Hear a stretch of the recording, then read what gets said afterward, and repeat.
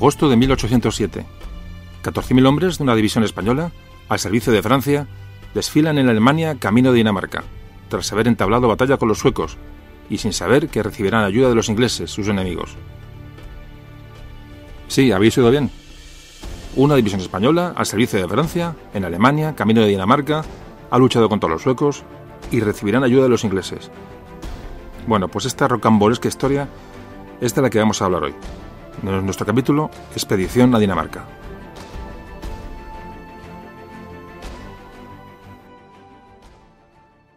Memorias de un tambor.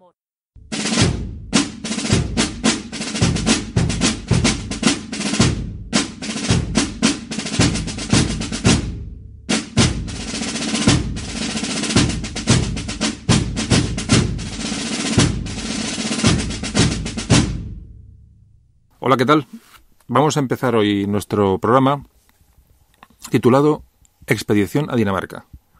Bueno, vamos a hablar un poco de los, mm, de los momentos históricos que se viven en el momento. Estamos hablando del siglo XIX. Antes de entrar en materia, bueno, ¿qué pasaba? Ya hemos hablado de estos, de este tema en los capítulos, sobre todo de Trafalgar y 2 de mayo, que os aconsejamos que, que bueno, que, que oigáis en, si no habéis escuchado ya. Bueno, para empezar la introducción histórica, diremos que estamos en el periodo de transición entre el 18 y el 19 un periodo que, como ya comentábamos en aquellos podcasts, eh, supone el declive de España. Europa está gobernada en su mayoría por eh, monarquías absolutas. Durante el siglo XVIII eh, se produce bueno, ese movimiento de la Ilustración y se, se, le conocerá como el siglo de las luces. Un siglo en el que bueno, las potencias europeas ya han asumido que el progreso científico, su capacidad industrial y su potencia militar va todo unido. no va un, bien una cosa sin la otra. En España reinaba a finales del 18 y comienzo del 19 reinaba el rey Carlos IV. Carlos IV, que reinó entre 1788 y 1808, una época absolutamente mala para reinar en España, muy mala. ¿Por qué? Porque en Francia se, haya producido la Revolución Francesa en 1789 y se iba a producir la, la invasión napoleónica de España en medio de una gran crisis económica eh, hubo mm, guerras con Inglaterra durante el 18 que nos dejaron absolutamente devastados. Eh, como digo, la Revolución Francesa en el 89 va a producir ya una amenaza de Francia sobre España. Eh, hay que pensar que España tiene una, monarquía absoluta de Borbones, que fueron los que, los que se quitaron de en medio en Francia, con lo cual este era un paso más para dar hacia el sur de lo que era Francia revolucionaria. De hecho, como todos sabéis, llegó Napoleón y se acabó la fiesta. Y bueno, nos quedamos también, esto produjo que nos quedamos sin un aliado natural, que era como era Francia, hay que pensar que en Francia reinaban Borbones, en España reinaban Borbones, y si bueno, había unos pactos de familia y una, una ayuda mutua de ambos países, sobre todo contra Inglaterra, el enemigo común, bueno, pues que nos, mantenía la situación más o menos en equilibrio. Este equilibrio se rompe en el momento que Francia eh, sufre la revolución y eh, España se queda pues sola entre dos entre dos eh, fuegos entre el fuego de Inglaterra y el fuego de la Francia revolucionaria. Una situación muy compleja muy complicada que ya comentamos en programas anteriores y pero bueno esta introducción estamos obligados a hacerla para el que escuche el programa de una manera suelta no bueno pues ahí se encuentra Carlos IV con un dilema ¿qué hace? ¿se alía con Francia para defenderse de, Inglaterra o se une a las potencias europeas incluida Inglaterra para luchar contra la Francia revolucionaria Mala elección cualquiera de los dos. Eh, Carlos IV, que era un rey que, era, bueno, que le faltaba carácter, se apoyó en su gobierno en, en, válidos como el conde Aranda, el Florida Blanca y sobre todo en el famoso Godoy, muy influido por la reina, por María Luisa de Parma. Y en principio la reacción de Carlos, eh, Carlos IV ante la, el, bueno, la Revolución Francesa y lo que se produce detrás de los Pirineos es mandar un ejército al sur de Francia, de unos 25.000 hombres, para intentar sofocar la eh, Revolución Francesa. Otras potencias europeas lo hacen desde sus respectivas fronteras. Bueno, el Francia se defiende perfectamente, tiene una potencia militar importante y eh, no solamente España no vence esa guerra ni, ni, ni, intimida a Francia, sino que Francia invade ciertas eh, ciudades y zonas del norte de España. Que bueno, esto se termina con la paz de Basilea, en la cual Godoy parece ser que hace un buen papel, que bueno, que logra unos buenos resultados para la mala situación de la negociación, y por esto eh, Carlos IV le nombra Príncipe de la Paz. Godoy será conocido dentro de Príncipe de la Paz por esa supuesta buena actuación en la Paz de Basilea, que se produce en 1795. Bueno, pues esta derrota ante la, Francia revolucionaria, unida al temor del, contagio de la revolución a, este lado de los, de los, Pirineos, hacia España, bueno, nos, más la llegada de Napoleón al poder, que ya es lo que completa la, la, fiesta, nos obliga a estar del lado de Francia temiendo su, su, posible invasión. No tenemos otra opción. Claro, esto va a suponer una serie de humillaciones tremendas y tratados totalmente eh, negativos para nosotros. De entrada, tenemos que firmar el Tratado de San Ildefonso en 1796. Este Tratado de San Ildefonso lo que nos obliga es una, una alianza con Francia, bajo esa presión de la que hablábamos, y el único aspecto positivo era que, bueno, con Francia España se refuerza frente a Inglaterra, pero eso suponía una nueva guerra eh, y sobre todo el compromiso que se adquiere en ese tratado de San Ildefonso de ceder tropas y barcos a Francia. Ojo, ojo con este tratado porque eh, tendrá importancia posteriormente y luego lo sacaremos otra vez a, colación. Así que fijaos, en unos meses dejamos de luchar contra la Francia de la Revolución y ahora somos aliados de ellos. Eh, una contradicción de, como siempre comento, de una monarquía absoluta aliada con un poder o un gobierno revolucionario, absolutamente, eh, como digo, eh, contradictorio. Bueno, esta guerra que comienza en 1796 y que durará hasta 1802, eh, nos mete ya en el siglo XIX, siglo en el que se va a desarrollar el programa de hoy. Bueno, esta guerra que nos mm, obliga a Francia a entrar contra Inglaterra ya supone el agotamiento absoluto de nuestra flota y del Tesoro Nacional, absoluto. Durante esta guerra, en 1799, tiene lugar el golpe de Napoleón, el golpe de Estado de Napoleón, y como antes comentaba, la presión sobre España ya es absolutamente insoportable. Hay que pensar que Napoleón, que era un, era revolucionario, era un, era eh, su origen estaba en la Revolución Francesa y odiaba a los Borbones, eran los que en, Francia habían, habían quitado en medio, como antes comentaba. Entonces, bueno, la política de Napoleón estaba encaminada, evidentemente, a, ir contra los reyes españoles, sin duda. ¿Qué pasó cuando llegó Napoleón al poder? Bueno, pues que forzó a Carlos IV a atacar Portugal, y acabar con esa ayuda que Portugal le, ha prestado tradicionalmente a la flota británica. ¿Qué hizo Godoy? Pues planificó, que era, el que tenía el poder realmente en, ese momento, a la mano derecha del rey y, más que la mano derecha, eh, planificó una guerra contra Portugal, una guerra que intentó que fuera pequeña, una guerra testimonial, la famosa guerra de las naranjas, para, bueno, para intentar alejar a Portugal de la órbita inglesa y de paso hacer olvidar a Napoleón la idea de invadir Portugal y evitar así la entrada de un ejército francés por España que, bueno que todo el mundo se temía lo que puede ocurrir si eso, si eso se llegara a producir como de hecho se produjo. Y bueno y lo que hace Godoy es intentar como comentaba en anteriores podcasts intenta alegrar contentar o mm, tranquilizar a tres países a Portugal, a Inglaterra y a Francia. Por lo que hace el efecto es absolutamente contrario con los tres. A Portugal le ofende, puesto que le ataca y puesto que le captura ciertas plazas, a Inglaterra, por supuesto, porque está atacando a un aliado y a un aliado Portugal y encima aliado con Francia. Y a Francia, a Napoleón le parece insuficiente el movimiento que hace Godoy. Con lo cual estamos, o sea, hemos intentado contentar a tres y nos hemos quedado más solos que la una. España va de cabeza absolutamente al abismo.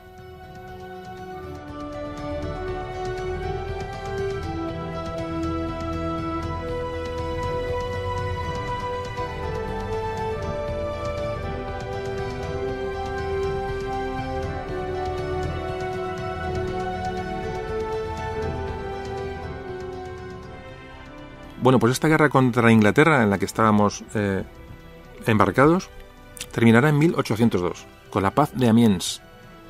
Están todos los bandos, España está agotada, pero Francia e Inglaterra también.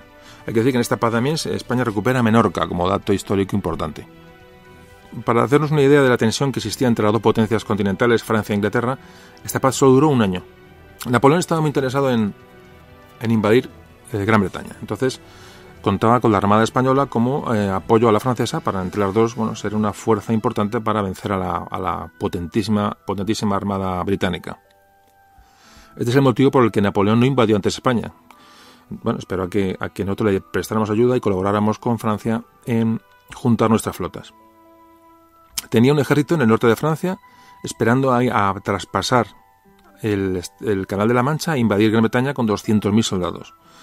Es decir, la, tensión era tremenda. Inglaterra veía cómo Napoleón preparaba esta invasión y además eh, mm, Napoleón va a hacer un bloqueo continental del, al comercio británico, es decir, mm, copa todos los puertos que pueden en Europa para que los ingleses no puedan comerciar y empiezan a notar los ingleses este bloqueo. Al mismo tiempo también España, la Armada Española, acosó mucho al, contrabando inglés en América, con lo cual Inglaterra empieza a notar cierta, cierta presión económica que empieza bueno, pues a, a causarle verdaderos problemas.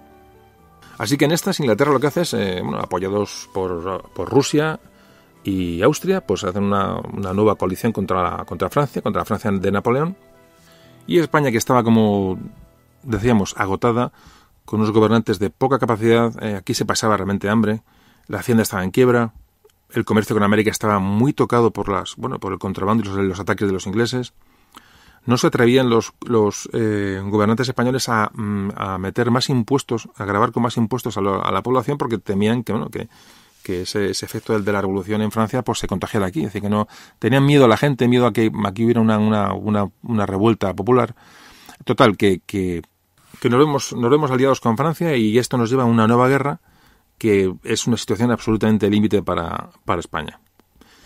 ¿Qué hace España en este momento? Eh, lo que mm, intenta negarse a participar en este nuevo conflicto. Eh, argumenta que están, estamos agotados y eh, Napoleón no admite este, este, este argumento y dice que hay una serie de pactos firmados, unas, alianzas firmadas entre Francia y España que nos obliga a cumplir. Y nos amenaza con la invasión directamente. En un último esfuerzo, España lo que hace es pedir una, neutralidad a Francia a cambio de, pagar una renta, una fuerte renta, una fuerte suma de dinero. Bueno, como Napoleón estaba pendiente de nuestra flota y tal, bueno, pues dice, vale, pues pagarme, el, pagarme la renta, una renta de creo que eran 6 millones de reales mensuales, eh, accede al pago eh, a cambio de nuestra neutralidad y bueno, parece que, no, nos va a dejar en paz. Pero, ¿qué pasó? Bueno, pues que Inglaterra que estaba, como siempre os digo, intentando, intentando echarse encima del comercio, del comercio con América, dijo que ese pago del pago de esa renta, que es que eso nos, nos convertía en aliados de Napoleón y que, y que de eso nada. O sea que, que, en fin, estábamos abocados a ir a la guerra. ¿Qué ocurrió? Bueno, pues que Inglaterra, en vez de declarar la guerra oficialmente a, a España, ya estaba en guerra con Francia, pero España que intentaba salirse de aquello como, como, como fuera, bueno, pues Inglaterra no nos deja y no nos declara la guerra oficialmente, pero empieza a atacar a barcos, a navíos españoles, barcos militares, comerciales, por donde nos encontraban. Eh, la, paciencia española fue tremenda porque no estábamos en condiciones de empezar una nueva guerra, hasta que, como también nos contaba en el anterior podcast de Trafalgar y el 2 de mayo, en octubre de 1804, eh, una pequeña flota de fragatas españolas fue atacada por una flota inglesa a traición el famoso hecho de la fragata Mercedes, el, tesoro, lo que ya me imagino que todos conocéis. Bueno, aquel, aquel, ataque, aquel ataque absolutamente deleznable produjo 270 muertos entre militares y civiles. Nos robaron todos los caudales que iban en aquellas fragatas. Y bueno, tras aquellos hechos ya vergonzosos y que nos forzaron por completo, España declaró por fin la guerra a Inglaterra, lo que, claro, a Napoleón le supuso pues, un alegrón que ni os cuento. Ya veía que España entraba en guerra, España pondría su flota al servicio de Francia, y ahora le, íbamos a ayudar de forma voluntaria. Bueno, esta guerra y la intención de Napoleón de buscar una superioridad naval para invadir, invadir Gran Bretaña nos va a llevar a la famosa batalla de Trafalgar, que como no quiero ser pesado, repito, ya hemos tratado en un podcast anterior, que os recomiendo que escuchéis, así como el, el del 2 de mayo. Bueno, tras la derrota de Trafalgar, Napoleón mira, ya solo mira al continente europeo, es decir, se olvida de las operaciones navales, evidentemente porque no tiene fuerza suficiente, y lo que hace es acentuar ese bloqueo continental de los puertos europeos eh, contra Inglaterra, decir, y lo que hace es acabar con sus enemigos en el continente. En ese mismo año, esa coalición que se forma contra, contra Francia, en 1805, eh, bueno, lleva a la batalla de Austerlitz, en la cual eh, Napoleón vence a austríacos y rusos. un año después, en Jena y Auerstadt, vence a los, a los prusianos, otra potencia europea del momento. Y, ese, y el mismo año, en la batalla de Friedland, derrota a los rusos. Es decir, en dos años Napoleón se ha quitado de un plumazo las potencias continentales. Es decir, es dueño y señor del continente y al ser dueño y señor del continente está en, disposición de bloquear los puertos de Inglaterra de una manera mucho más efectiva. Napoleón tenía ahora mismo Europa en su mano y la invasión de España solo era cuestión de tiempo.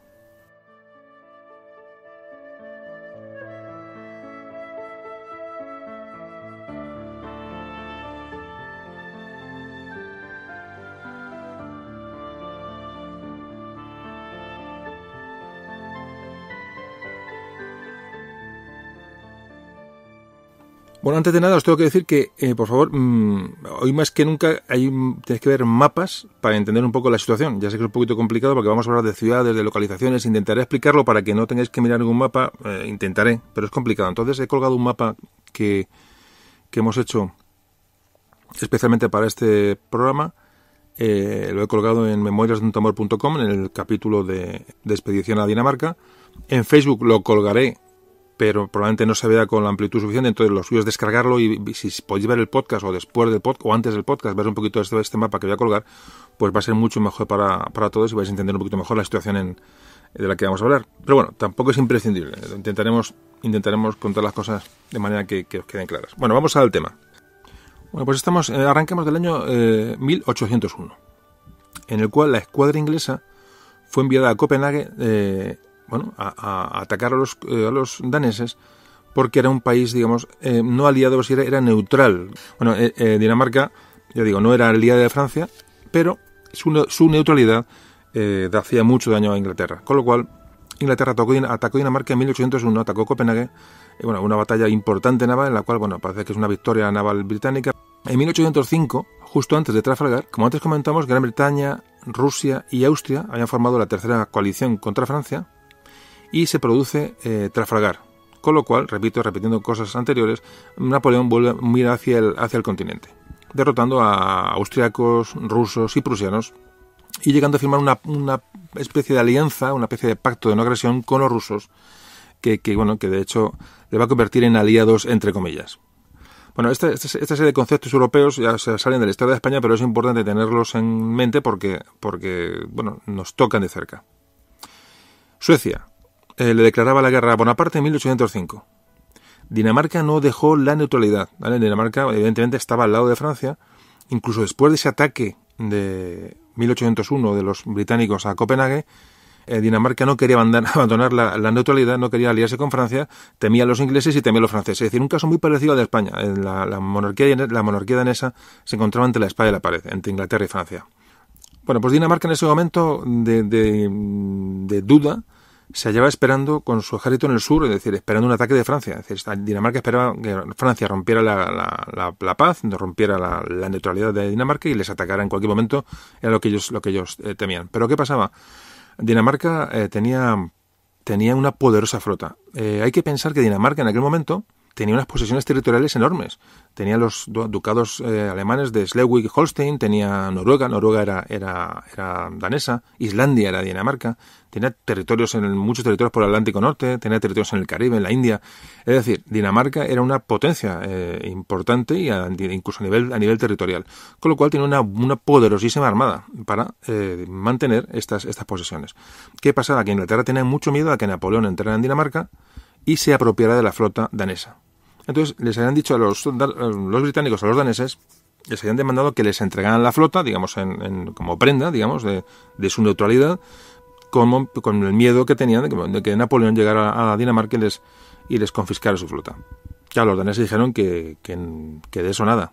Pero ¿qué pasaba? Que Napoleón al mismo tiempo le decía a Dinamarca lo mismo, le decía, parecidas mm, ofertas, como las que les hacía Inglaterra. Les decía, oye, dame vuestra flota, eh, pues un neutral de vuestra flota, no va que los ingleses os la quiten. Es decir, fijaos la situación de compromiso que tenía Dinamarca en aquel momento, un poco para entender la situación.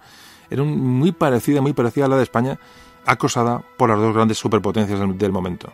Así que llegamos a 1807, donde mm, hay, ahora sí los ingleses se lanzan sobre Copenhague, que sufre un brutal bombardeo. Durante tres días y noches murieron 1.600 personas en Copenhague y la ciudad se rinde los ingleses requisan los 15 buques de línea y otras tantas fragatas, calculo unos 30, 30 y tantos buques de guerra, y se los requisan a los, a daneses, ya no se los quedan como prenda de nada, sino que se los quitan directamente como eh, en modo de expolio.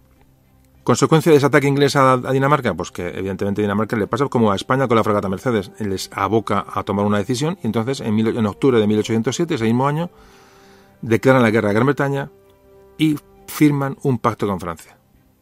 Resumiendo la situación, eh, tenemos a Austria y Prusia vencidas por Napoleón, a Rusia vencida y en alianza con Francia, España y Dinamarca aliados por narices, y solo quedan en guerra con Francia, Portugal, Suecia y naturalmente Inglaterra. Bueno, pues hasta aquí la introducción histórica de hoy. Eh, hemos hablado un poco también de historia europea porque mm, para centrarnos en lo que de lo que vamos a hablar y ya comenzamos con el capítulo de expedición a Dinamarca.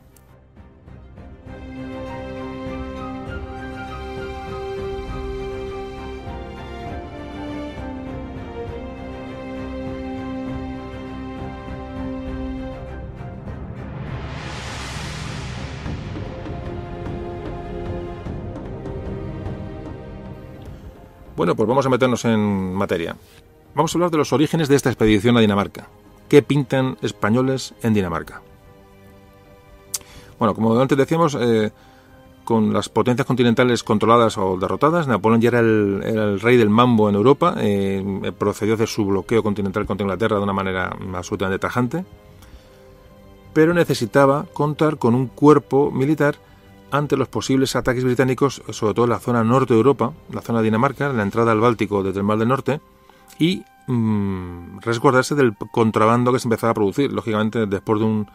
cuando hay un bloqueo y cuando hay una, una prohibición, eh, de comerciar siempre se produce un contrabando lógico. Entonces, bueno, este contrabando está haciendo daño también a Francia, entonces necesitaba tropas, necesitaba una fuerza militar que por en la zona de, mm, en concretamente en Dinamarca, pues eh, cerrara todos aquellos puertos al contrabando y al comercio inglés. Y aquí entramos en, los términos que se firmaron en el Tratado de San Ildefonso en 1796. Francia iba a exigir a Godoy, a España, la formación de un ejército de 14.000 soldados para acudir en su ayuda. Y les dice, que 6.000 hombres de este ejército tienen que ser los que estaban destinados en el reino de Etruria, en Italia, más 8.000 hombres que tenían que salir desde España. La creación de esta fuerza española, que estaba encaminada a proteger los puertos del norte, como digo, eh, Napoleón obliga a que sea eh, sacada del reino de Etruria. Bueno, el reino de Etruria era un, invento de Napoleón que sustituyó al Gran Ducado de, Toscana y que cedió a la corona española, a los, Borbones, cedió este reino de Etruria como, y como reyes de, él mismo a una hija de Carlos IV. Bueno, el caso es que en aquel reino de Etruria tenía una serie de guarnición eh, francesa que necesitaba para las, sus guerras en el continente, estamos hablando de 1805, estaban las, las batallas contra Austria eh, en, su, en su apogeo, y Rusia, y entonces, bueno, pues aquellas tropas mm, las metió en batalla y fueron reemplazadas esas tropas de, vigilancia o de custodia de este, este reino de Etruria por eh, tropas españolas que fueron enviadas allí. Así que esas tropas que guarnecían, eh, estas tropas españolas que guarnecían Etruria, ordenó que se pusieran en, camino hacia el norte, atravesando el Tirol, en tanto que la otra parte del ejército que tenía que formar España, obligada por el Tratado de San Ildefonso, saldría de la península y tenía que marchar hacia el norte a través de Francia. Haciendo un pequeño inciso de, en esta época, es cuando Napoleón, a Napoleón le llegan, le llegan noticias de que Godoy, estaba intrigando en su contra y estaba esperando que fuera derrotado por los prusianos. Es decir, eh, Godoy tenía la gran esperanza de que Francia fuera derrotada por Prusia y todo volviera a su ser. Es decir, pero al conocer esta, estas, esta, este doble juego de, Godoy, eh, Napoleón, como dijo luego años después en sus memorias, eh, dijo, entendió, dice que más tarde, más temprano, habría que, derrocar al régimen español, en el cual ya no confiaba para nada. es importante porque este tema lo, Napoleón se entera en estos, en estos momentos. Es decir, estamos condenados a la invasión. ¿Y entonces qué hace? Bueno, pues eh, eh, todas estas tropas que va a destinar al norte, de, alguna manera, primero le va a ayudar a, su, a su, labor de, ayudar al bloqueo continental, pero va a alejar a un ejército importante español, a 14.000 soldados, eh, que era en un momento una fuerza importante para España, los va a alejar de la, de la península. Lo va a alejar para la península y entonces en el momento que él entre en la península para, para, hacer lo que luego hizo, esta gente va a estar, va a estar lejos. Es decir, tiene la doble, la doble función, la que realmente le ayuden al bloqueo y debilitar, debilitar a España eh, con, eh, alejando su ejército, digamos, de la, de, la, de la península. De hecho, hay unas cartas que se registran de que Napoleón le manda al su ministro de Asuntos Exteriores, a Talirán, que le dice, dice, ya tengo un doble interés en hacer salir de Toscana la, división española. Eh, fue decisivo, este comentario de Godoy que leyó a Napoleón fue decisivo para que Napoleón cambiara, ya digo que seguro que iba a invadir España, pero esto eh, aceleró los acontecimientos. Fijaos cómo sería el tema que este reino de Trulla que regaló a, los, a, los, a la hija de Carlos IV, eh, lo disuelve, lo disuelve, lo convierte otra vez en el gran ducado de, Toscana, es decir, no dura nada este reino de Etruria, y se lo cede a su hermana, a la hermana de Napoleón y su esposo. Así que, eh, ¿qué es lo que pasa? Bueno, como va a cambiar los reyes de Etruria o va mm, a, rehacer la, posición del ducado de, Toscana con su, con su familia, con su hermana, pues esto va a ser mucho más sencillo si allí no hay tropas españolas acantonadas. Es decir, todo es una maniobra para eh, beneficio, evidentemente, de, Napoleón y sus planes futuros. Aquí cuando se monta este, se, bueno, se forma este, este, ejército español, ya digo, mitad de, que va de, de y mitad que sale de, España, Godoy propone que el jefe de este ejército sea el mismo Farril, es decir, el jefe que estaba en, en, Etruria, o el general Castaños.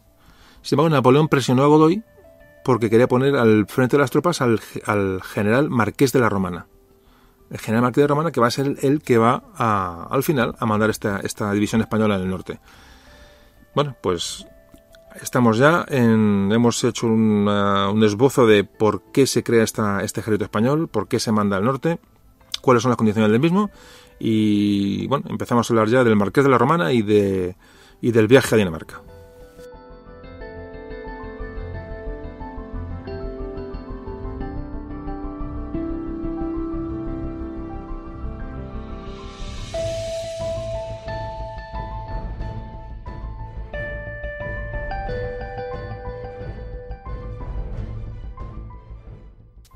Bueno, ¿y quién era este Marqués de la Romana? Pues era, eh, se llamaba Pedro Caro y Sureda. Era un hijo de un militar eh, que había muerto en acción en 1775, nació en Palma de Mallorca en 1761, estudió en Lyon, luego estudió en la Universidad de Salamanca, estudió luego en el Seminario de Nobles en, en Madrid y posteriormente ingresó en la Marina Real. Años más tarde, antes de empezar estudios de idiomas y bellas artes en Valencia, tomó parte en el asedio a Gibraltar, donde se distinguió, al parecer, y luego eh, durante 1784 viajó por Francia y otros países europeos, en lo que, bueno, que hizo un hombre de una extensísima cultura, eh, de, conocedor de muchas lenguas, es decir, una persona muy culta y muy preparada. Cuando estalla la, guerra contra Francia, en la Francia revolucionaria, en 1793, pidió servir en el ejército mm, español a las órdenes de, su tío, llamaba Ventura Caro, y eh, este le dio un cuerpo de unos 2.000 hombres. Participó en la, campaña de Cataluña contra los, franceses, bueno, y ahí pues, se volvió a distinguir, es decir, era un militar con bastante prestigio, y cuando acabó la guerra, en 1795, esta guerra con Francia contra la Francia revolucionaria, era teniente general. En mil, hasta 1801 estaba al frente de la Capitanía General de Cataluña. Tenía mucha relación con las unidades en Cataluña y en 1807, cuando se producen los hechos de los que hoy vamos a hablar, eh, contaba con 46 años de edad. Parece que Napoleón pudiera pensar que, que este marqués de la Romana, este Pedro Caro, como personaje culto que era y, una persona ilustrada, una persona propia de, ese siglo XVIII, del siglo de las luces, eh, bueno, pues, pues mm, se mostraría muy opuesto al, tipo de gobierno que había en España y esa inmoralidad que realmente tenían los gobernantes españoles en aquel momento, que era que, la que se sabía que muchos militares y mucha gente de, de prestigio en España estaba absolutamente avergonzada. Y entonces pensaba Napoleón que este marqués de la Romana podía ser mucho más útil para sus pretensiones que cualquier otro general. Bueno, pues vamos a hablar de la, de la división española en el norte. Esta división, que se llama la División del Norte, hay que decir que las tropas de la guarnición de Truria, vamos a hacer un dato un poquito más concreto, porque sé que a algunos gustan los datos, nombres, voy a intentar ser un poquito equilibrado, sin dar muchas cifras y nombres, pero algo, algo hay que dar. Las tropas de la guarnición que había en Etruria eh, tenía tres regimientos de infantería. El regimiento de Zamora, el regimiento de Guadalajara y el regimiento de voluntarios de Cataluña. Y dos regimientos más de caballería, el regimiento del Algarve y el regimiento de Villaviciosa más su correspondiente artillería. En total eran más de 6.000 hombres. Como digo, pusieron camino hacia, hacia el norte de Europa, desde Italia. A esta fuerza había que sumar esa fuerza que dijimos que iba a salir desde España para completar este ejército que nos obligaba a, dar a Francia el Tratado de San Ildefonso. Salen desde España otros tres regimientos de infantería. Salen el Regimiento de la Princesa, el Regimiento de Asturias y el Regimiento de Voluntarios de Barcelona más otros dos de caballería, el regimiento del rey y el regimiento del infante, más su artillería correspondiente, es decir, este ejército iban unos 8.500, casi 9.000 hombres. En total eran más de 14.000 hombres los que se iban a juntar en el norte de Europa. Se ha hablado mucho, eh, uno va leyendo cosas y, hay quien dice que sí, hay quien dice que no, no se sabe un poco qué calidad tenían estas tropas españolas, eh, si eran la, la élite del ejército español o no lo era. No hay nada que pueda darnos un dato fiable sobre esto. Hay que decir que, que fijaos, en la, era una fuerza importante. Las tropas que se enviaron al norte eran el 11% del ejército español. La caballería que se mandó a, esta expedición era el 25% de la caballería que había en España. Además, la caballería, que era un arma importantísima en la época napoleónica, crucial en las batallas y crucial porque daba movilidad, velocidad y daba, daba potencia en las, las batallas y en, los, y, en las, y, en las, y entre batallas. Bueno, pues había una, eh, además había en España una escasez tremenda de caballos que hacían que la caballería fuera un arma débil en España. Fijaos, habla las cifras que en esa época había 9.000 caballos para 15.000 jinetes. Un estado desastroso de la caballería española en, a principios del 19. Y resulta claro, como Napoleón exigía que se le mandaran las tropas que el tratado se firmó, y eh, Godoy estaba absolutamente entregado a la, causa, a, bueno, a la presión napoleónica, pues mandó, evidentemente, las, la, caballería que tenía España, prácticamente toda la caballería, es mandó los caballos sanos estaban, estaban en este ejército. Eh, desmantela nuestra caballería en la península. Prácticamente no nos, quedamos sin caballos y sin caballería útil. no toda, pero gran parte. En aquella época, fijaos, eh, otro dato de la debilidad de la caballería española, España tenía un jinete por cada diez infantes, muy inferior a la mayoría de los países eh, de Europa, pero es que, porque Francia, por ejemplo, tenía un jinete por cada cuatro infantes. Fijaos la importancia que daba eh, la táctica de la época a la caballería. podemos también decir que en esta, hablando del, ejército español, que es un tema interesante, en España en ese momento había muchos regimientos extranjeros. durante el siglo XVI, sobre todo, España, que dominaba Europa, o parte de Europa, creó varios regimientos eh, formados con italianos, con balones, con suizos, con irlandeses. Pero a partir del siglo XIX esos, esos regimientos de tanta tradición, prácticamente los, los únicos que tenían eh, en sus filas gente extranjera eran los suizos, que en su mayoría eran, eran están entrados por, por, suizos. ¿no? La mayor parte de los regimientos que había en España, balones italianos, bueno, pues estaban formados por españoles o otros extranjeros, pero ya habían perdido un poco su origen de, aunque tenían nombres de aquellas, de aquellas, de aquellos países, de aquellas zonas, realmente estaban formados por soldados de otras, de otras nacionalidades o, españoles, ¿no? Fijaos, por ejemplo, la cantidad de, ahora hablaremos durante el programa de varios, la cantidad de nombres extranjeros que salen en, en, dentro de los mandos españoles. Esto hemos hablado siempre tradicionalmente en todos los, en todos los podcasts de que hemos hablado, de, sobre todo del siglo XVIII y XIX, la, la mezcla que había entre de mandos de, entre países, porque, digamos, muchos militares se formaban en, eh, bajo la tutela de, otra, de otra corona. Era muy típico. Por ejemplo, en España escucharemos durante el programa este, por ejemplo, hablar mucho de O'Farrill, de O'Donnell, hablaremos a última hora del general Blake, de Kindelan, eran nombres eh, irlandeses. Es decir, sobre todo irlandeses, había muchísima, muchísimos nombres de irlandeses que eran pues, descendientes de unos primeros eh, militares que llegaron con los regimientos originales. hay, mucha tradición de apellidos, eh, ya digo, sobre todo, eh, sobre todo irlandeses. Por ejemplo, Reading, Reading que fue, bueno, ya hablaremos de Belén, Belén le dedicaremos un podcast seguro. Por ejemplo, la batalla de Belén, realmente el que la gana es, Teodoro, Reading. Reading era un suizo. Y es curioso saber toda, esta, toda esta influencia de, de unidades extranjeras en, la, en el ejército español.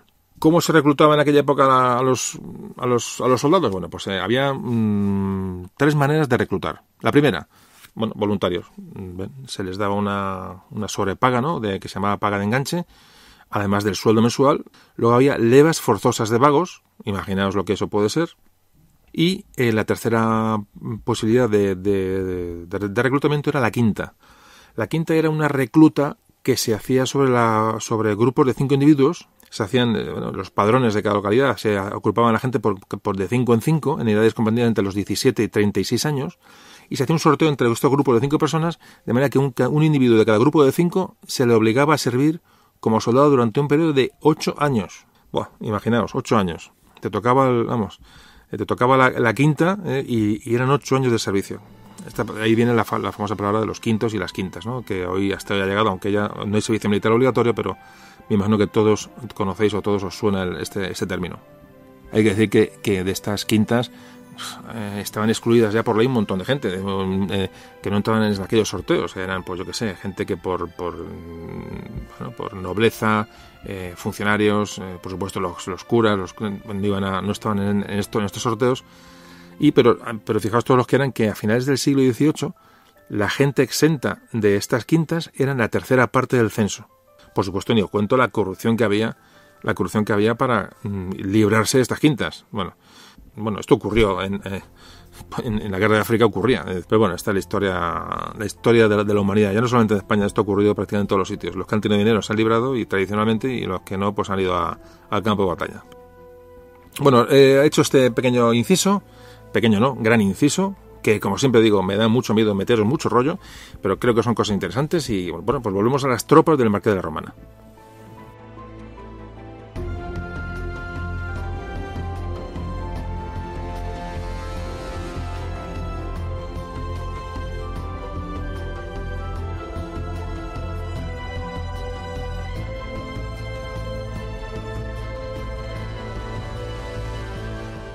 Bueno, hay que decir que las tropas españolas, cuando llegaron a la zona alemana, a su paso por, bueno, por donde iban, eran muy eh, valorados y muy ensalzados por, por todo el mundo que los veía. Hablamos del rey de Baviera, los elogia. Los generales, generales franceses, ah, luego veremos que entraron en combate enseguida, los generales franceses los valoran muchísimo su, su maniobrabilidad, su, su, bueno, su, su acción en combate. Hay que decir que estos, estos, estas unidades llegaron tras un penoso viaje a través de, de, sobre todo los que venían de Italia, a marchas forzadas, atravesaron los Alpes, atravesaron Baviera, en fin, el viaje es larguísimo. Eh, cuando hablamos de que se desplazaron de Troya hasta, hasta el norte de Europa, parece ser que es un viaje en, no, no, es un viaje de los gordos, eh, un viaje penoso, un viaje que además los soldados celebraban cuando pasaban los Alpes, parece que celebran muy por lo alto, cuando llegan ya, bajan desde Innsbruck hacia la llanura de, Baviera, lo celebran, eh, ya por fin han, pasado esas, penurias de, parece que bajaron y subieron ocho puertos en los Alpes, imaginaos, pero, imaginaos, ocho puertos, pero iban con mujeres y niños.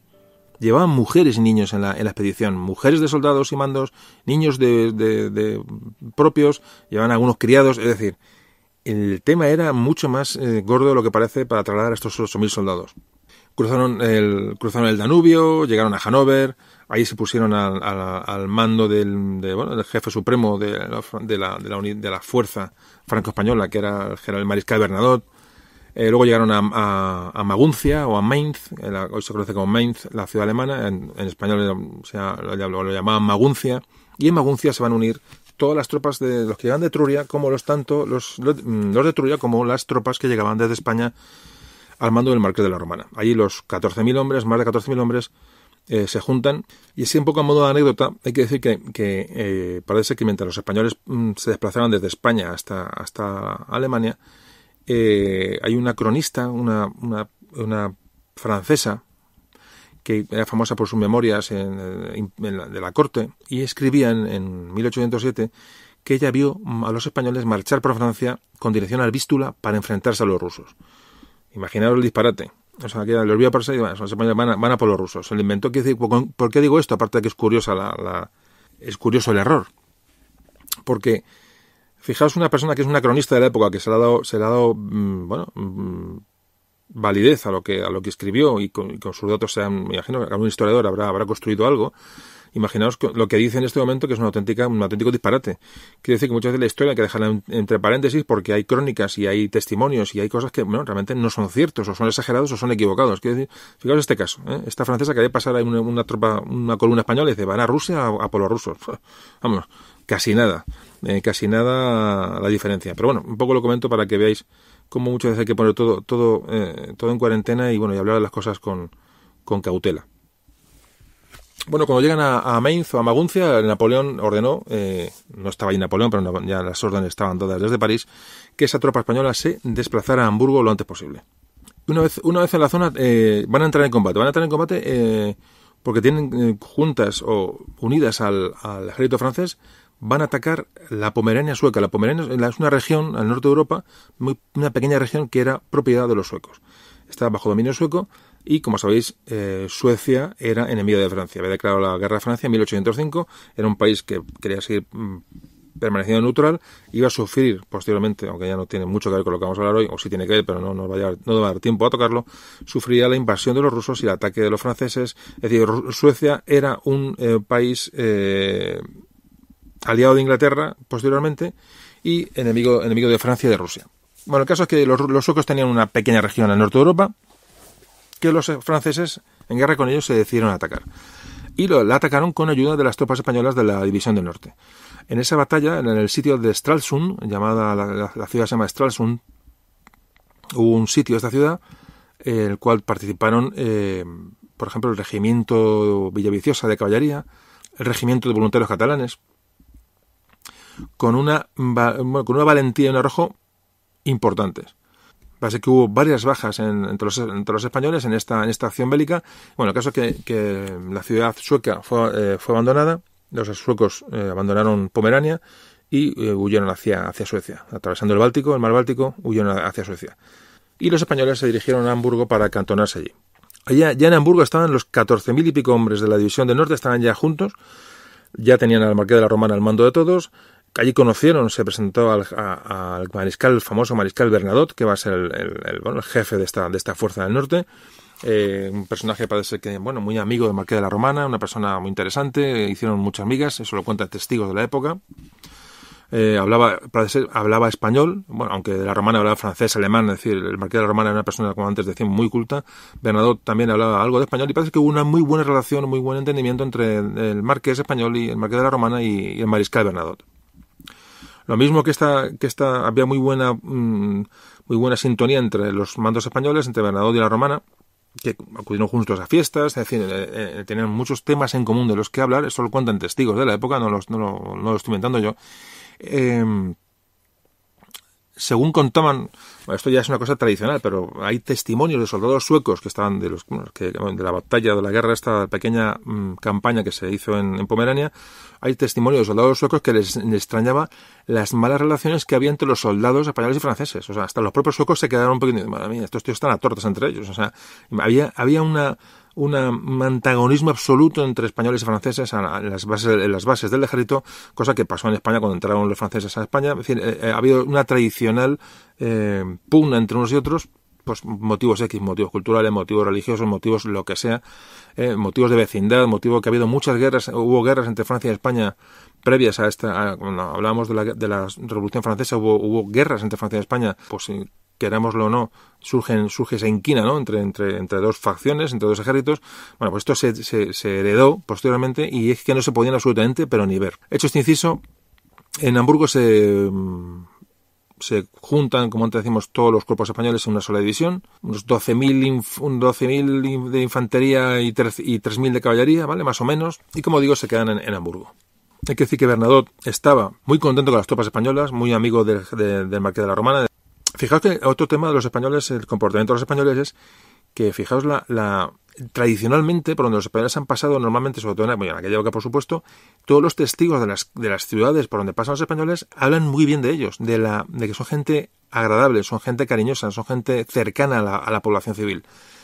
A pesar de lo que suponía para una población de aquella época soportar un ejército de, de 15.000 de 15 hombres, imaginaos lo que eso puede ser, eh, eran muy apreciadas. Por ejemplo, en Hamburgo hay un, mon un, montón de testimonios que hablan de los, de los soldados españoles que eran los que más bailaban en los bailes de la ciudad, los que más participaban, los más simpáticos. Eh, parece ser que les recordaban cuando caían las nevadas o veían nieve, parece que, que, eran los que más jugaban con bola de nieve con los niños de Hamburgo. Todos estos son testimonios eh, que hay guardados de, de, de la población de Hamburgo bueno, pues esto es un comentario que, que, contrasta mucho con cómo se les veía a los, a los soldados franceses en toda Europa. Es decir, pero contrasta mucho. Evidentemente son temas, son eh, ejércitos diferentes y condiciones diferentes.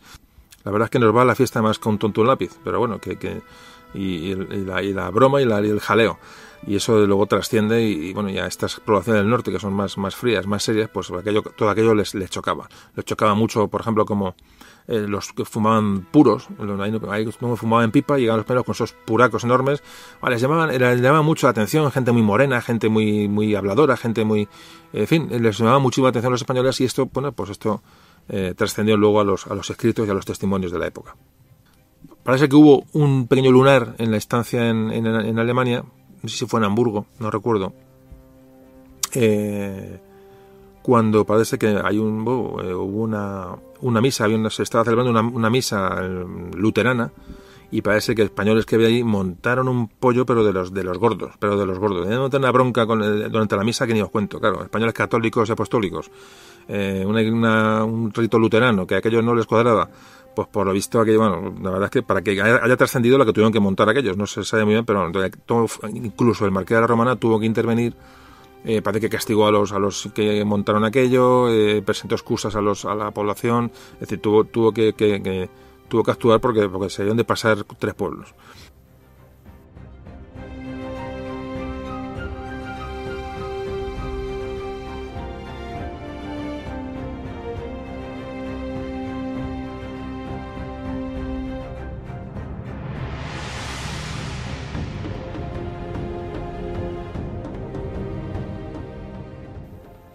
Bueno, nos centramos ya en, las cercanías de, Dinamarca. Estamos en julio de 1807. El mariscal Bernadotte era, bueno, Napoleón en esta fecha, en julio de 1807, le nombró general en jefe de, de las ciudades hanseáticas de Hamburgo, Bremen y Lübeck. Eh, las Hansas, eso te a explicarlo, las Hansas eran una confederación de ciudades comerciales, del, sobre todo en el ámbito del Báltico, bueno, de, del norte de Europa, bueno, que tienen un comercio entre ellas, es decir, muy, muy complejo. Cuando hay de las, de las Hansas, bueno, estas ciudades hanseáticas eran ciudades semi-independientes comercialmente, bueno, es un, te un tema largo de, tratar. Bueno, el caso es que, que al ser comercial, mm, al ser su, su razón de ser el comercio, Napoleón lo que hizo fue, estas ciudades de las Hansas es bloquearlas automáticamente para el comercio con Inglaterra. Es decir, fue las primeras ciudades que él bloqueó, eran, ciudades eminentemente comerciales. Entonces, eh, nombró a Bernadotte digamos, jefe de, bueno, de, del control de estas, de estas ciudades. Y puso sus órdenes eh, a las órdenes de Bernadotte una división española, la famosa división del norte, otra división holandesa y dos francesas. En total tenía Bernadotte bajo su mando 47.000 hombres. La misión de Bernadotte, ¿cuál era? Hacer cumplir el bloqueo continental. ¿Qué tiene que hacer? Bueno, pues vigilar que los ingleses no, no tocaran las costas ni por asomo y, el, y, controlar el contrabando y la corrupción que parece ser que había de los funcionarios franceses y alemanes en la, en la zona. Y nos encontramos con que Napoleón eh, va a mandar órdenes a, a Bernadotte de invadir Suecia, o está preparado para invadir Suecia. Los rusos atacarían eh, por el este y eh, los franceses tenían que atravesar, atravesar el Báltico desde Dinamarca y atacar la zona sur de Suecia. Y para ello contaban con, con tropas españolas para ejecutar la acción. Esto nunca llegó, llegó a producirse porque bueno, las circunstancias fueron, cambiaron. La, Marina Británica empezó a bloquear el Báltico, es decir, no hubo posibilidad de pasar por el, Báltico hacia Suecia. Sin embargo, los rusos sí que atacaron por la zona, por, por Finlandia, atacaron Suecia con, con éxito. Eh, al final Suecia, como todos sabéis, eh, pasó al dominio francés, Bernadotte mm, reinó en Suecia, bueno, en fin, una serie ya con de, historias de la historia europea que, bueno, que ahí no nos, no nos afectan. El caso es que, eh, como digo, esta, esta posible, esta mm, pretendida invasión de Suecia no se llevó a cabo, pero parece que se preparó este mismo objeto para atacar Dinamarca. Y como antes comentábamos, los británicos atacaron Copenhague en 1807, en, estos, en estas fechas, eh, antes comentábamos que atacaron Copenhague, que les expoliaron la flota, eh, mataron un montón de gente. Es decir, los, daneses en este momento cambian su política y salían con Francia. Con lo cual, esto ocurre en este momento. Hemos hecho un poquito, vamos cambiando de, de, tiempos. Esto que antes comentaba eh, al principio de la introducción histórica ocurre ahora. Con lo cual, Dinamarca pasa a ser aliada de Francia, españoles y franceses y holandeses se olvidan del ataque a Dinamarca porque Dinamarca ya es aliada y Dinamarca pasa a ser enemigo de Inglaterra. Mm, como antes comentaba, un poquito muy forzada como le pasó a España. Por eso Dinamarca era un país eh, en este momento eh, amigo de Francia, como nosotros, pero con muchas reservas. Así que, en este estado de las cosas, pues mm, en 1808, el 29 de febrero de 1808, fijaos ya las, fechas que estamos hablando, 1808, hablamos ya del 2 de mayo, ¿eh? es decir, para que un poquito eh, eh, vayáis ubicando hechos que se van a producir en España y hechos que se van a producir aquí en, Dinamarca. Bueno, Dinamarca declara la guerra a Suecia y Napoleón ya ordena a Bernadotte que entre en Dinamarca para ocupar los puertos daneses importantes, para lo cual cuenta con, en gran parte con la, eh, con la División Española del Norte. Así que el 23 de marzo de 1808, el regimiento de Almansa de Caballería entra en Ribe, una ciudad en, al sur de Dinamarca. Ahí imaginaos cómo se quedaron aquellos daneses de, la, esta ciudad al sur de Dinamarca, ¿eh? el señor y la señora Sorensen, o el señor y la señora Laudrup, ¿eh? ven entrar ahí al regimiento de Almansa montados en esos caballos andaluces preciosos, grandísimos, negros, eh, con esos uniformes amarillos, eh, con el cuello azul, eh, españoles, ¿qué, pintaba allí un regimiento que español en, Dinamarca? Realmente, si os, si pensáis, es una, es una situación bastante, bastante, mm, bueno, rara, ¿no?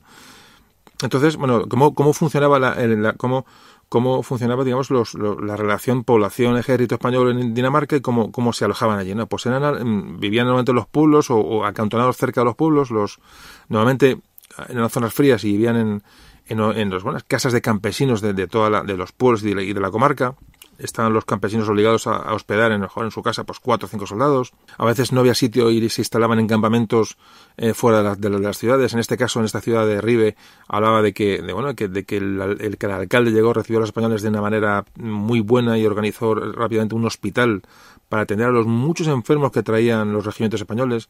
Y es difícil imaginarse cómo era la vida en, en tan lejos de, de, España. Entonces, eh, parece que en el hospital de la ciudad se le reservó una parte del hospital a los españoles. La, la ropa de las camas les, les, les, fue prestada por particulares del, pueblo. En fin, una serie de, atenciones y estuvieron muy agradecidos a, bueno, al trato que, se les ofreció en, las ciudades danesas. Está puesto está como ejemplo, ¿no? Hablan también testimonios de daneses, como, como unos españoles que llegaron a una ciudad cerca de Randers, en Jutlandia. Luego, ahora explicaré un poquito la distribución de, Dinamarca y ya digo, si os apoyáis con el mapa que, que, está colgado, pues mucho mejor. Bueno, pues el alcalde de, esta ciudad parece que tuvo, bueno, después de alojar a toda la tropa que llegó allí, al regimiento que le tocó acantonarse allí, ya cuando tenía, después de sufrir mucho para colocar a todos y tal, ya resulta que parece que llega, cuentan, le digo, los, testimonios que llegó mm, retrasado, llegó un, un mecánico, un forjador de, armas, de, fusiles, y llegaba con su mujer y sus dos hijos. Claro, la, situación, es una situación muy compleja, muy compleja.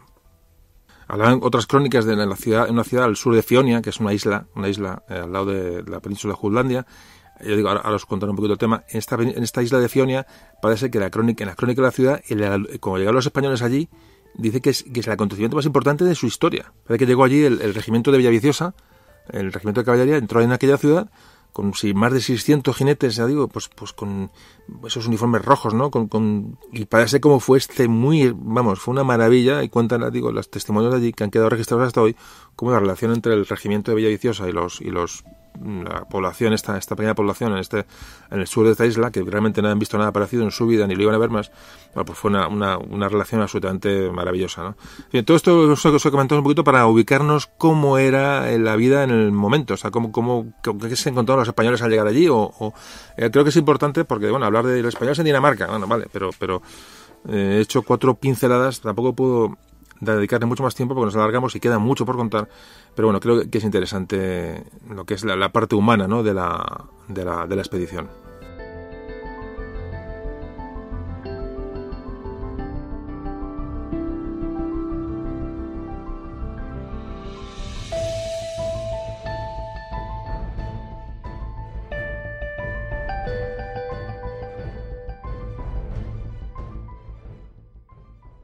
Bueno, pues vamos a hablar de la estancia de los españoles en, Dinamarca y vamos a empezar a hablar ya de la complica cómo se empieza a complicar la, cuestión. Se empieza a complicar la cuestión. Em, en España se producen en estos momentos eh, hechos lamentables, como son esa lucha entre Godoy y los reyes Carlos, Godoy el rey Carlos IV y el hijo de Carlos IV Fernando que se llama Fernando VII, ¿vale?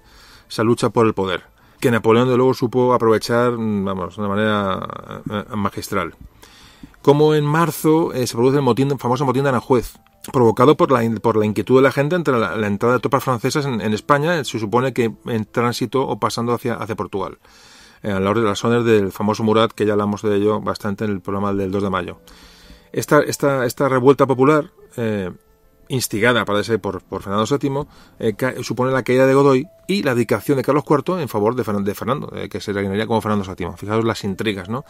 Eh, unos días más tarde, Carlos IV, eh, presionado por, por, Francia, dice que, lo, que su dedicación no vale, que anula eh, su dedicación al trono y que, de eso, que donde dijo digo, dijo Diego, y bueno, y pasa que, Napoleón convoca a los dos en, el famoso, en la famosa reunión de Bayona y los dos se ven forzados a abdicar en favor de Napoleón y este lo va a hacer en favor de su hermano José como nuevo rey de España.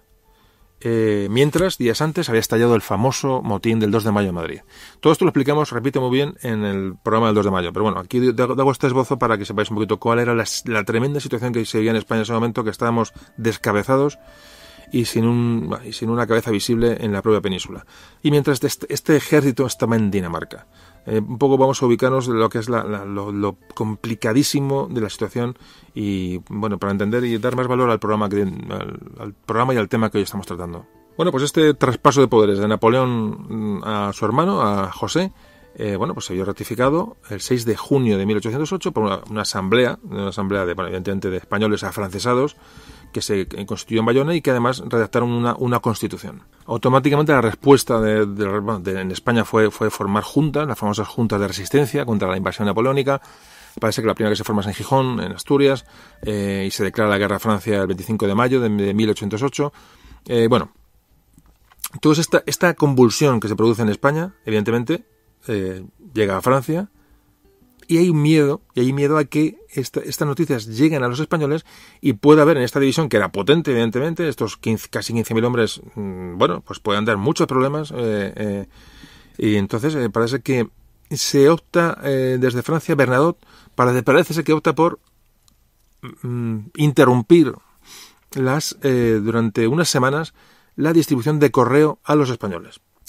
Parece que, eh, eh, aunque muchos historiadores han dicho que, esta, que esta falta de información de los españoles era total, parece que no es así porque en Dinamarca se estaba prácticamente al tanto de todo lo que estaba ocurriendo.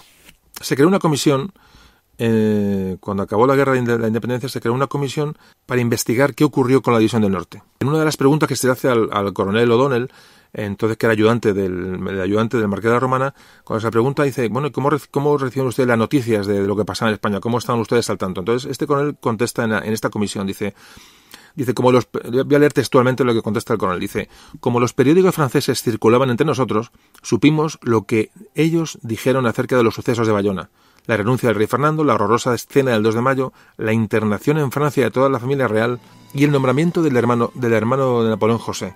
De las cartas que venían de España, desde mediados de mayo, solo llegaron a nuestras manos abiertas las que no tenían noticias que pudiesen alarmarnos. Pero los ingleses cuidaron de introducir furtivamente papeles que nos, la las daban más exactas. Es decir, cortaron el correo, pero tenían, eh, había circulado en periódicos franceses, evidentemente, porque era incontrolable, y los ingleses ya estaban al tanto y estaban encima para, para meter cizaña a los españoles e informarles de lo que estaba pasando en su país y ponerlos y ponerlos de su lado. Muy importante esto porque, porque realmente ha habido siempre diciendo, bueno, estaban, no sabían lo que pasaba, estaban, no, sí sabían lo que pasaba exactamente y por eso, bueno, pues empezaron a organizarse para ver cómo salían de aquel auténtico embrollo. Una división de 14.000 hombres en Dinamarca, rodeados de franceses, rodeados de, o no olvidemos, los daneses eran aliados de Francia, es decir, los daneses no tienen nada que ver con nosotros. El ejército danés potente estaba, era, lo, tendríamos en contra en caso, en caso de sublevarnos. Por supuesto, las divisiones francesas también, la división holandesa también, es decir, estábamos en una situación de aislamiento y lejanía que realmente hacen de este capítulo pues un tema que, que es apasionante.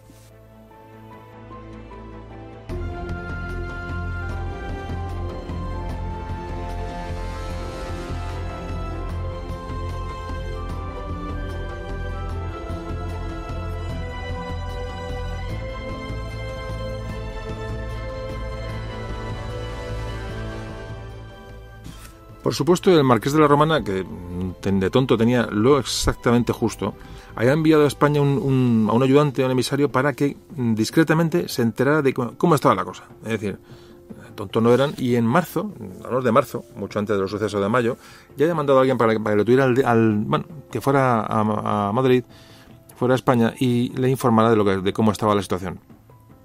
Entonces, una vez de vuelta, llegó este emisario, llegó el, el 24 de junio, ya le contó a, al marqués de la Romana, le contó lo que había pasado en el 2 de Madrid, porque él fue testigo, fueron varias, varias personas, y fueron testigos de todo lo, eh, lo, que pasó en Madrid, pues estaban allí.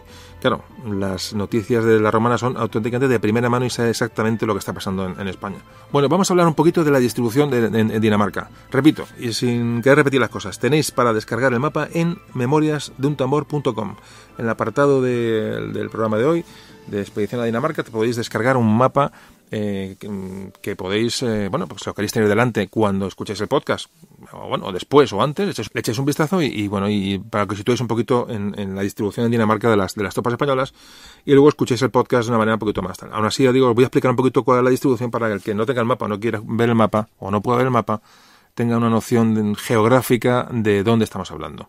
Bueno, Dinamarca está al norte de Europa, como todos sabéis. Está al lado, al lado de, Alemania, al lado de los Países Bajos, una, pequeña península llamada Jutlandia. Bueno, pues al este de esa península de Jutlandia, entre Dinamarca y, Suecia, estamos en el mar Báltico, hay decenas de islas, centenares de islas, en las cuales hay dos muy grandes, que son la isla de Fionia y la isla, y la isla de Selandia. Entonces repetimos, tenemos la, península de Jutlandia, la, más grande, justamente a la derecha, al este está una pequeña isla llamada Fionia, y más al este hay otra isla que se llama Selandia, un poco más grande que donde está la capital Copenhague, ¿vale? Bien, bueno, pues nos situamos en eso, es decir, una zona de penínsulas, de islas, una zona complicada eh, geográficamente para que nos damos una idea de cómo estaban las tropas españolas distribuidas. Bueno, pues imaginaos, en, al oeste de Dinamarca tenemos varias, varias unidades, en varias ciudades, al norte de la península de Jutlandia tenemos mm, unidades, en Fionia, realmente es la isla de Fionia, la isla pequeña, eh, ahí tenemos, es donde estaba el cuartel general de, de la Romana, estaba en Niborg eh, repito, si veis el mapa vais a dar muy perfecta cuenta de la, de la distribución de las tropas españolas. Y luego en la isla de Selandia, que es donde estaba Copenhague, la capital, donde había un ejército danés importante y un ejército francés de apoyo importante, solamente se destacaron eh, un, par, un par de regimientos. En la, como repito, en la isla de Selandia. Mm, y repito otra vez, la mayor parte del ejército estaba en Fionia, en una isla pequeña entre Jutlandia y Selandia. Bien, pero si veis el mapa vais a dar cuenta de la cantidad de territorio ocupado y de la dispersión.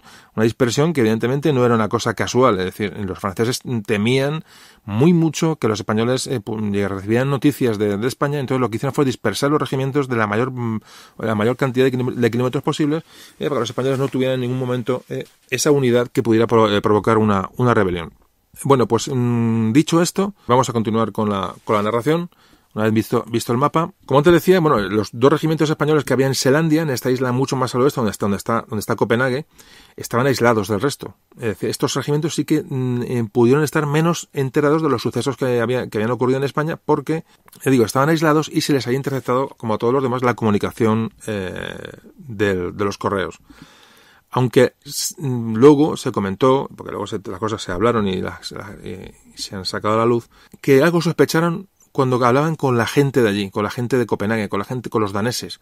Eh, sospechaban porque, porque mm, ellos tenían información y entonces se la ocultaban, es decir, tenían sospecha de que algo estaba ocurriendo en España. Llegaron por visto panfletos y proclamas desde Asturias eh, declarando la guerra a Napoleón. Cuando el Principado de Asturias declaró la guerra a Napoleón, bueno, pues un pasquín de estos no se sabe cómo, pero llegó a las tropas que había en Selandia. Parece ser que también en esta, en esta introducción de esta información en pequeñas dosis eh, tuvieron mucha, mucho que ver los, los, agentes mm, mm, ingleses, los agentes secretos ingleses que enseguida fueron llevados allí para, para eh, hacer llegar a los españoles y hacerles, hacerles partícipes de la situación. Con lo cual, también podemos hablar de que estas tropas más aisladas en esta isla, eh, que es más grande y, ya digo, mucho más aislados en cuanto a que están rodeados por fuerzas muy superiores, pues también sabían, también sabían lo que, lo que estaba ocurriendo. ¿Cómo sería la cosa? Que el rey Federico VI de, Dinamarca, el 13 de julio, dirigió una serie de mensajes a sus, a sus jefes militares mm, recordándoles que tenían el deber de intervenir en favor de Francia en el caso de que los españoles no, no fueran fieles al rey José I Bonaparte. Es decir, cómo estaban ya, mm, la, tenían la mosca detrás de la oreja, diciendo que, que ya el propio danés, los daneses dijeron, cuidadito, que os recuerdo que por muy mal que os caigan los franceses, los españoles, o sea, somos aliados suyos y los españoles si se rebelan o presentan, eh, dan cualquier problema, estáis obligados a sofocar la rebelión. Es decir, el rey, el rey danés sabía que los españoles están empezado, empezando a estar, no diremos cabreados, diremos, diremos tensos. Bueno, pues ante esta situación de indefinición o de tensión de los españoles, desde España y con el, por supuesto con la colaboración de París, se propone que los españoles juren fidelidad al rey José I Bonaparte en Dinamarca. Es decir, las tropas, las tropas de Dinamarca juren fidelidad allí al nuevo rey, el hermano de Napoleón. ¿Por qué? Porque si nos ponemos las gafas de ver el siglo XIX, siglo XVIII, un juramento era un juramento. Es decir, un juramento de, un juramento de fidelidad a un rey era un juramento de fidelidad a un rey. Era inquebrantable para un militar, para un soldado y para cualquier persona. Era jurar, era, era, era un contrato divino. Entonces, si, si ellos consideran que las tropas juraran fidelidad al rey, al nuevo rey español, al, hermano de Napoleón, bueno, pues se garantizaban en gran parte que esa gente pues, iba a estar atada moralmente, atada de pies y mano moralmente para hacer cualquier rebelión. Entonces, el secretario del nuevo rey, el de José I, que era un, un afrancesado, eh, Mariano Luis de Urquijo, se fundamenta en un artículo de la nueva Constitución de Bayona y eh, en la cual en la cual eh, están obligados todos los militares a, jurar eh, fidelidad al rey al, rey José, José Bonaparte. Así que esto le llega a Bernadotte en su cuartel general en el que este, su cuartel general estaba en el sur de en el sur de Dinamarca y le manda una carta a su amigo el marqués de Romana diciéndole que haya recibido unas órdenes muy explícitas de Madrid sobre el tema del juramento y que todos los oficiales y los soldados tenían que, jurar, tenían que jurar fidelidad y obediencia al rey José Napoleón, a la Constitución y a las leyes de España. Y estaban obligados a refrendar esto con, la, con, con vivas al rey y tres descargas cerradas de fusilería. El juramento había que hacerse por regimientos y le decía, y mandaréis levantar un acta por cada uno de los juramentos. Bueno, la cuestión empieza a ponerse complicada, porque imaginaos a la gente en Dinamarca. Estaban con una tensión tremenda, de, diciendo, madre mía, ¿qué hacemos aquí? En vez de ayudar a los nuestros, ¿no? Sabían lo que estaba pasando. Ahora llegan y dicen, le dan la orden de que juren eh, la fidelidad al rey José I Bonaparte. La cosa se pone, empieza a poner complicada.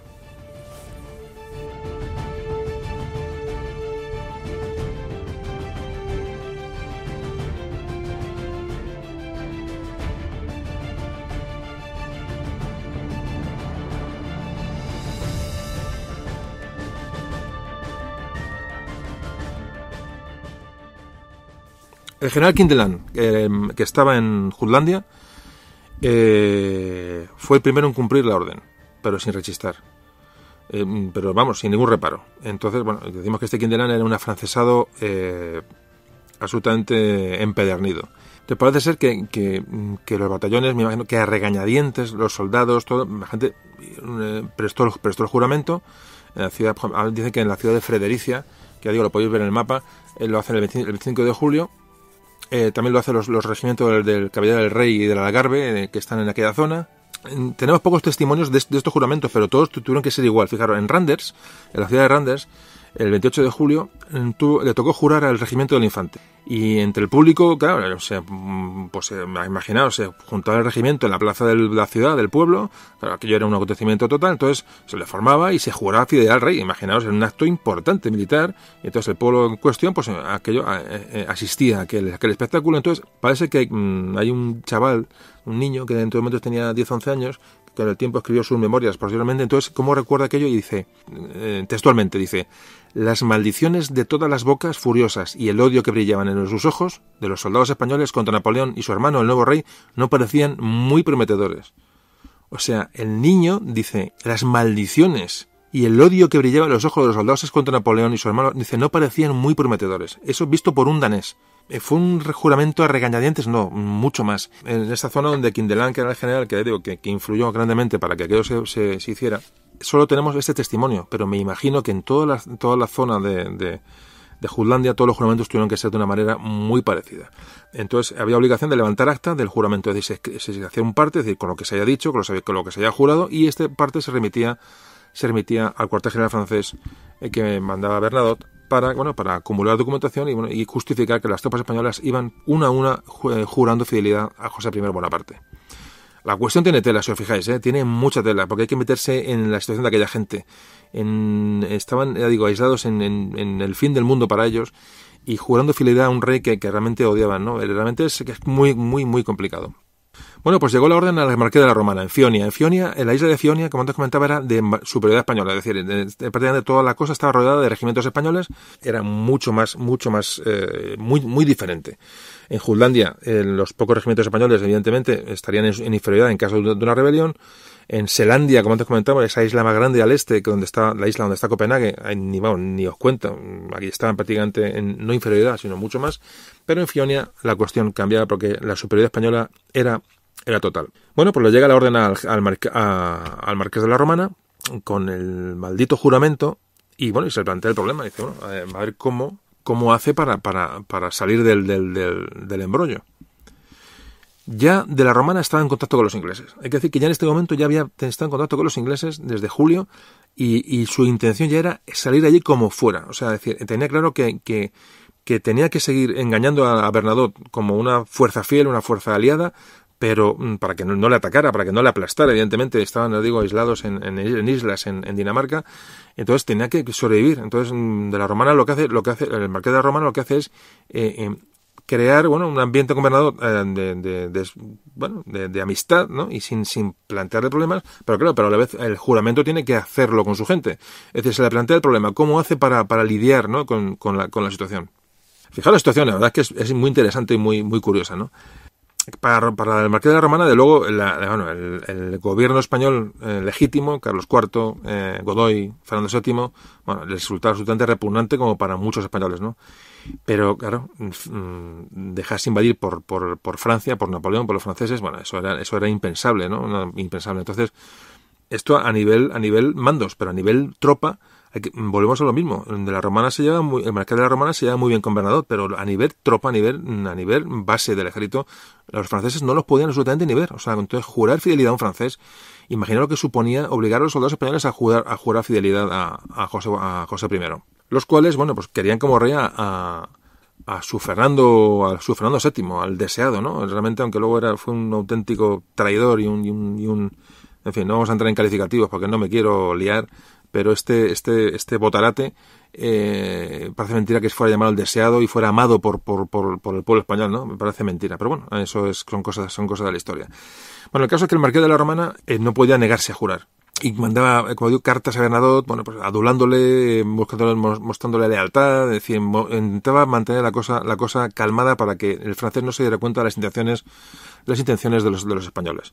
Entonces lo que intenta el marqués de la Romana es, es con tanta adulación y tanta, dice, estamos a vuestra disposición, y de hecho manda cartas a Madrid mostrándose a disposición de la nueva, del, nuevo gobierno, eh, fidelidad, eh, o sea, lo que hace es intentar, con estas cartas, con esta adulación, intentar evitar el juramento, de decir, bueno, ya, a mí si me ven que estoy tan fiel y, la gente de aquí estamos tan contentos con el nuevo régimen, eh, eh, el nuevo rey, nos deja, no, pero, pero no, o sea, intentó, intentó evitar la fase del juramento de sus tropas, pero recibía respuesta negativa, es decir, que estaba obligado a hacer la ceremonia de juramento. el marqués de Román intentó hasta último momento evitar, evitar el juramento, ya digo, intentando engañar a tanto a Bernadotte como a las autoridades eh, afrancesadas españolas. Entonces, claro, eh, lo que hace el Marqués de Romana, reúne en Niborg, en, digo, estamos en, la isla de Fionia, reúne su Estado Mayor, consulta un poco toda la situación, les hace partícipes de, la situación. Entonces, entre ellos intentan hallar una fórmula de juramento que fuera aceptada por los soldados y que realmente no les comprometiera a mucha fidelidad al 100%. Es decir, entonces allí, allí, pues algún jurista, hablan de una persona que es la que que era un jurista de la que estaban con el ejército, que, que, que, redacta un texto que es el siguiente, dice, en vez, de, en vez del juramento que les habían obligado, dicen, dicen esto, dice, como individuos de la nación española, de que formamos parte, y con la que deseamos siempre vivir y morir unidos, y creyendo que ella, por medio de sus legítimos representantes, habrá con plena libertad prestado o deber prestar igual juramento que el que se nos exige, juramos fidelidad y obediencia al rey José Napoleón y la Constitución y las leyes. Eh, bueno, dice que sí, dice que no, que España, que el rey mm, es un juramento raro, ¿no? No es el que les venía eh, marcado como obligatorio. Parece que el, regimiento de la princesa, que estaba en Niborg, en la isla de Fionia, eh, bueno, hay que decir que en, la parte del juramento que, que el marqués de Romana mandó realizar a sus tropas, eh, obvió o evitó los vivas al rey. Pero sí permanecían las, las descargas de, fusilería. Bueno, pues eh, este regimiento de la princesa parece que se niega a hacer, juran, pero dicen que no pegan los, los tres, los tres disparos, ¿no? Y que se ser obligados para, eh, por los mandos a, realizar los tres disparos. Es decir, que ya ahí ya empieza, empieza el problema. Fijaos, en, en la ciudad de Odense dijeron que lo, en Odense se niegan a jurar. Los, los soldados del regimiento de Almansa y parte del regimiento de la, de la princesa Dicen que no, que no juegan, que ellos no juran, que el, que el coronel puede hacer lo que quiera, pero que ellos no van, no, van, no van a jurar y el coronel no se puede, no puede obligarles. Es decir, se niegan a jurar a, a, a José I. En Middelfart, otra, otra ciudad que podéis ver, tanto Odense como Middelfart, que estamos hablando ahora mismo, eh, son ciudades que están en la isla de Fionia, que estamos, digamos, controladas por los españoles, con lo cual había mucho más independencia en, las acciones. Bueno, el caso es que cuando le reúnen eh, para, el, para el juramento, parece que un cabo, un cabo, abandona la formación y se acerca al, jefe del, jefe del regimiento y le dice mi compañía no jura a José ni a otro alguno sino a esa bandera.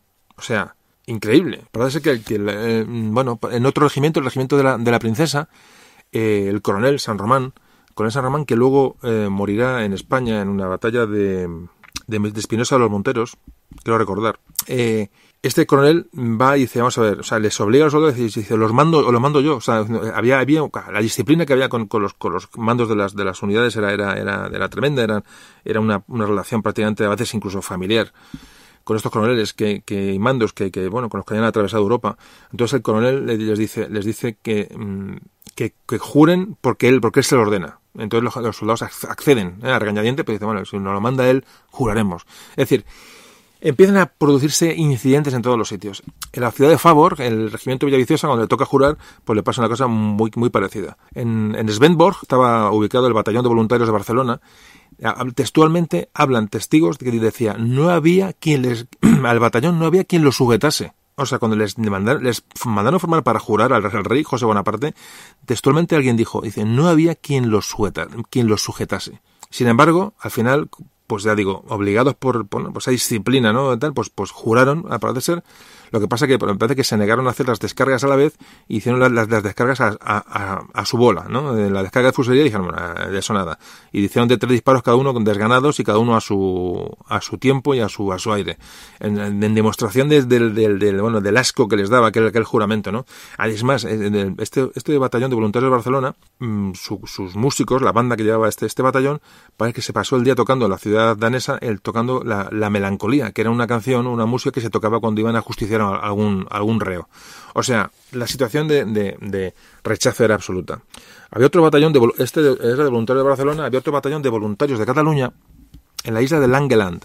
Bueno, la isla de Langeland, porque aparecerá luego, es una pequeña isla que está un poquito al sur de la isla de, Fionia. Hablamos, repito, está la península de Jutlandia, ¿vale? La península grande que forma Dinamarca, a la, al este una isla que se llama Fionia, y más al este está la isla de Selandia, donde está Copenhague. Repito esto para que os ubicando. Bueno, pues un poquito al sur, al sureste de la isla de Fionia, entre, más o menos entre Fionia y Selandia, hay una isla pequeñita, muy, muy alargada, que se llama Langeland, o Tierra Larga. Comento esto porque va, a ser clave en en el, futuro, entonces ya nos vamos ubicando. Bueno, pues en esta pequeña isla que tenía prácticamente 50 kilómetros de largo y creo que eran 5 o 6 de ancho, era muy, muy alargada y muy estrecha, bueno, pues aquí había un batallón de voluntarios de Cataluña donde, y en la isla había, bueno, había un, pues un gobernador, eh, un coronel francés, parece, y un gobernador danés. Bueno, pues fijaos cómo vería la situación. El comandante eh, danés en, en Langeland eh, dice que el batallón, textualmente, dice, el batallón de voluntarios de Cataluña acantonado aquí es extraordinariamente inglés. Y los soldados declaran abiertamente que tan pronto que desembarcase aquí los ingleses iban a pasarse a ellos. O sea, los catalanes que hay allí en, en, en Langeland eh, le dicen al danés, dicen, mira, en el momento que aparezca con un inglés, así, voy a jurar a tu prima, o sea, en el momento que aparezca con un inglés, me voy, o sea, me paso, de, me, me cambio de bando, pero eso es que en, sea, lo, el, el, jefe danés mm, ya detecta esto y en un, en un correo lo hace saber a sus, a sus mandos. Por cierto, en pequeño inciso, hemos hablado de que esta, este acto de juramento a su rey, de juramento de lealtad a su país, a su bandera, a su patria, lo hacen voluntarios de Cataluña, voluntarios de Barcelona, estamos hablando del siglo XIX, es decir, antes de ayer. Lo digo porque no os cuenten películas, ¿vale? No, no nos cuenten muchas películas porque entonces nos, nos perdemos, nos perdemos, en, en, perdemos el hilo. No sé si sabéis por dónde voy. Bueno, no, hasta aquí lo dejo. Seguimos a, seguimos al Marqués de la Romana, las tropas en Dinamarca, y seguimos hablando de este dichoso juramento que nos trajo o les trajo quebraderos de cabeza a unos y a otros.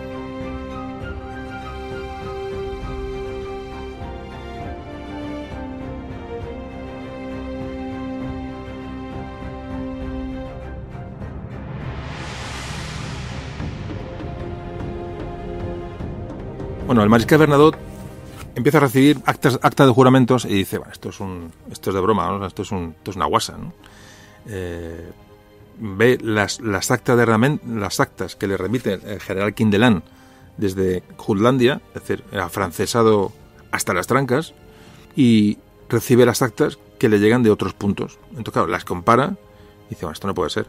O sea, no puede ser. Así que manda una carta a Marqués de Romana y dice, oye, ¿qué pasa? O sea, vale, o sea, este juramento es muy serio. Que decimos, cuando hablo de un juramento, repito, juramento era un poco una, una carta de garantía, ¿no? Que tenían de, bueno, de ese, de esa, de esa, de ese servicio de los españoles al rey José de Bonaparte y, bueno, y, y evitarse problemas. Con lo cual, le dan mucha importancia a los métodos de juramento y a las, y a, y a bueno, cómo, cómo, se, cómo se ejecutaban ¿no? estos, estos juramentos.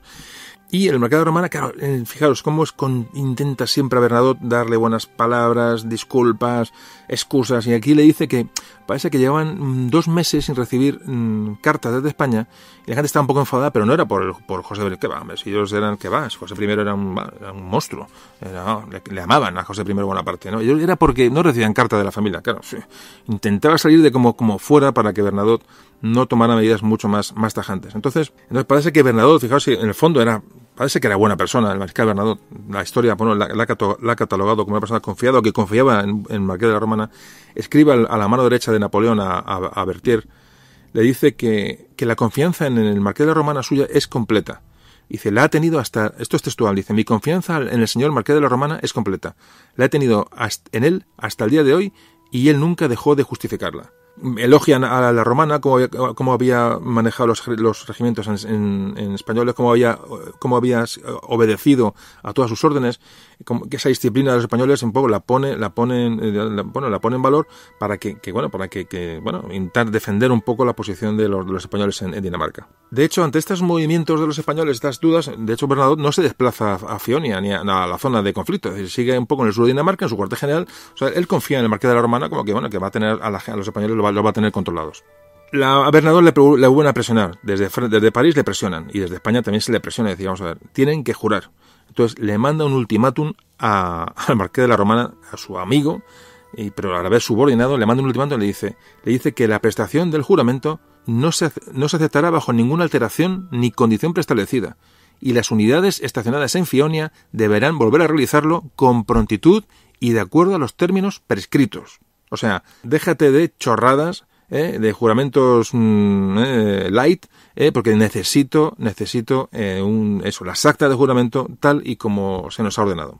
Aquí ya empiezan a, complicarse las cosas porque mm, parece ser, hay una carta de, la, de, las memorias que escribe O'Donnell parece que ya notan que hay mmm, esta, esta, esta, vamos a ver, los franceses saben que los españoles saben lo que está pasando, es decir, ya o sea, se temen cualquier cosa, no son, no son idiotas. Entonces, eh, eh, tienen a, a 15.000 soldados, eh, bueno, que les pueden hacer, dar muchos, muchos problemas. Entonces, lo que intentan ya es, eh, cuenta Donner, es, cuenta cómo intentan ya mmm, acercarles a las unidades españolas hacia el sur, y ellos sospechan que les van, les van a apresar, o les van, les van a obligar a hacer un juramento, o les pueden apresar. Es decir, empiezan a notar cierta presión, cierta presión sobre ellos.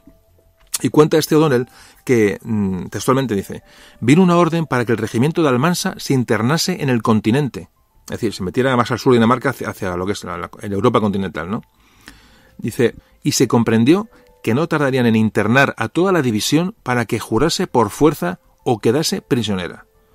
Esto lo escribe en sus memorias O'Donnell. Ellos creen que la cosa ya está. O sea, cuando Bernardo le manda un ultimátum a la hermana y dice, o juras o vas a, tener problemas, es porque ya hay una desconfianza. Y entonces eh, sospechan que pueden atraer a las unidades españolas a toda la división hacia el sur para hacerles jurar, para en un momento dado eh, apresarles. Bueno, pues en esta situación crítica, eh, realmente es crítica, porque, bueno, ya se han dado cuenta que los españoles no quieren jurar, se han dado cuenta que los españoles saben lo que está pasando y saben que los españoles en el momento que tengan la más mínima oportunidad van a, se van a dar media vuelta y van a salir por donde puedan. Pero claro, ¿por dónde salen? Estamos en el Báltico, estamos en islas, estamos en Dinamarca. Muy complicado, salvo salvo que, salvo que Gran Bretaña, salvo que Inglaterra nos eche una mano.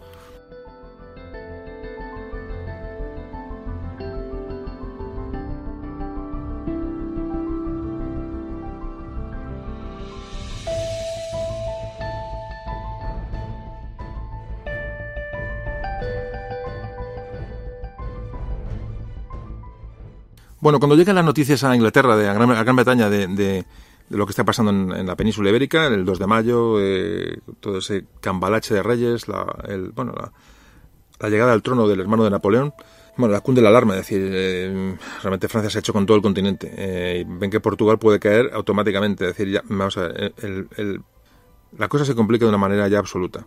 Y entonces, Claro, los ingleses sabían que había una división española en el norte, una división en la zona, pero mm, tenían noticias muy, muy relativas. O sea, tampoco sabían dónde estaba realmente, porque evidentemente había espionaje y tal, pero, pero bueno, veían que había españoles por allí, había una guarnición, un pueblo que tenían un, un, en un puerto había veían a un granadero de no sé dónde, pero bueno, la, la, inteligencia británica evidentemente no sabía exactamente la disposición ni, la, ni, ni el alcance de esa división española que sabían que estaba en el norte de Europa. Entonces, parece que, en ese momento en Inglaterra ya se imprimen unos, unas, una, una proclama, un pasquín, eh, que se llama Al Ejército Español en Alemania. Entonces, eh, en donde es un folleto de propaganda que, se va a hacer llegar al, por, la, por los espías británicos, uh, bueno, la, toda la, infraestructura británica en la zona, para que llegue a los españoles de alguna manera empiecen a enterarse de lo que, está pasando por si acaso.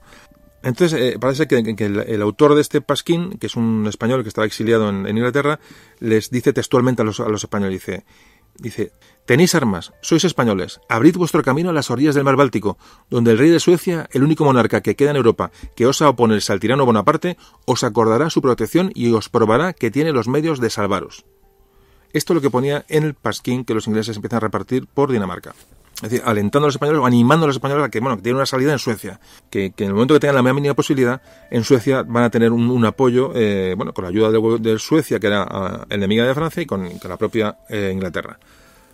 Claro, pero es muy fácil mandar este para pero ¿cómo llego a Suecia, no? De una isla en Dinamarca. Claro, dice, vale, vale, yo sí, estoy de acuerdo, pero ¿cómo llegamos hasta allí, no? Claro, es que la cuestión era, era, marcar una predisposición a las tropas españolas para que cuando llegara el socorro, el supuesto socorro inglés, bueno, pues la gente estuviera mentalizada, ¿no?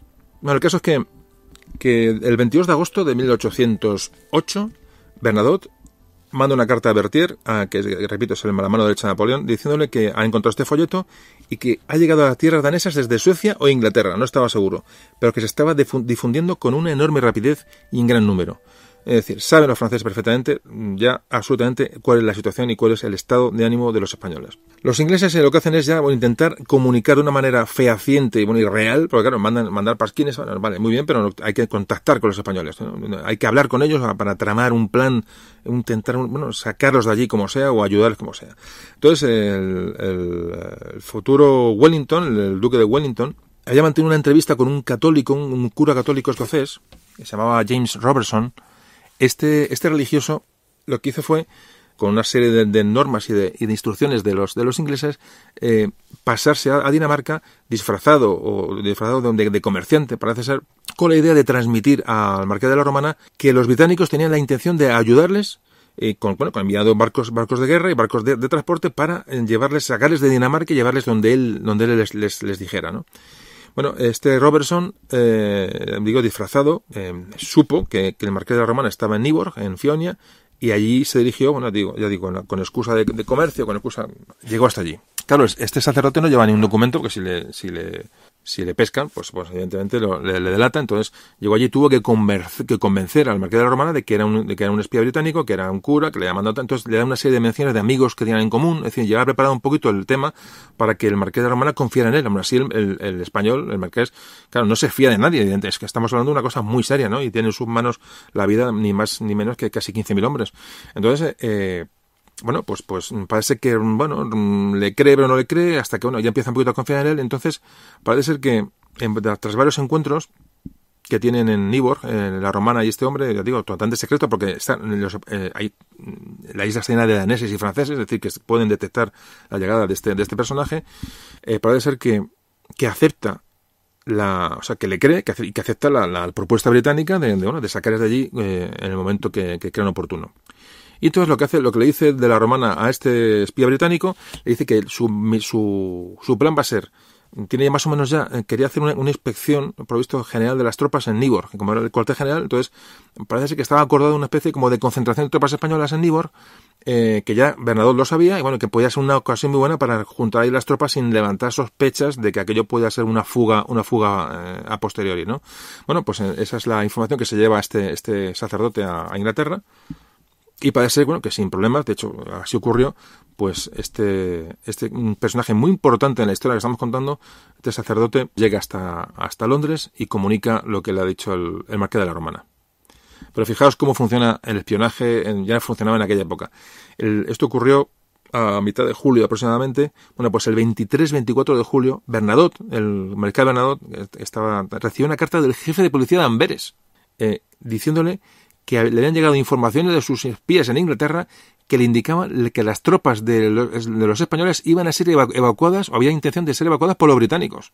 O sea, la inteligencia francesa detectó todo esto. O sea, imaginaos la cuestión. O sea, cada vez están más, más aislados y con más peligro. además, el, el mercado no dijo, bueno, Dios mío, ¿qué es esto, no?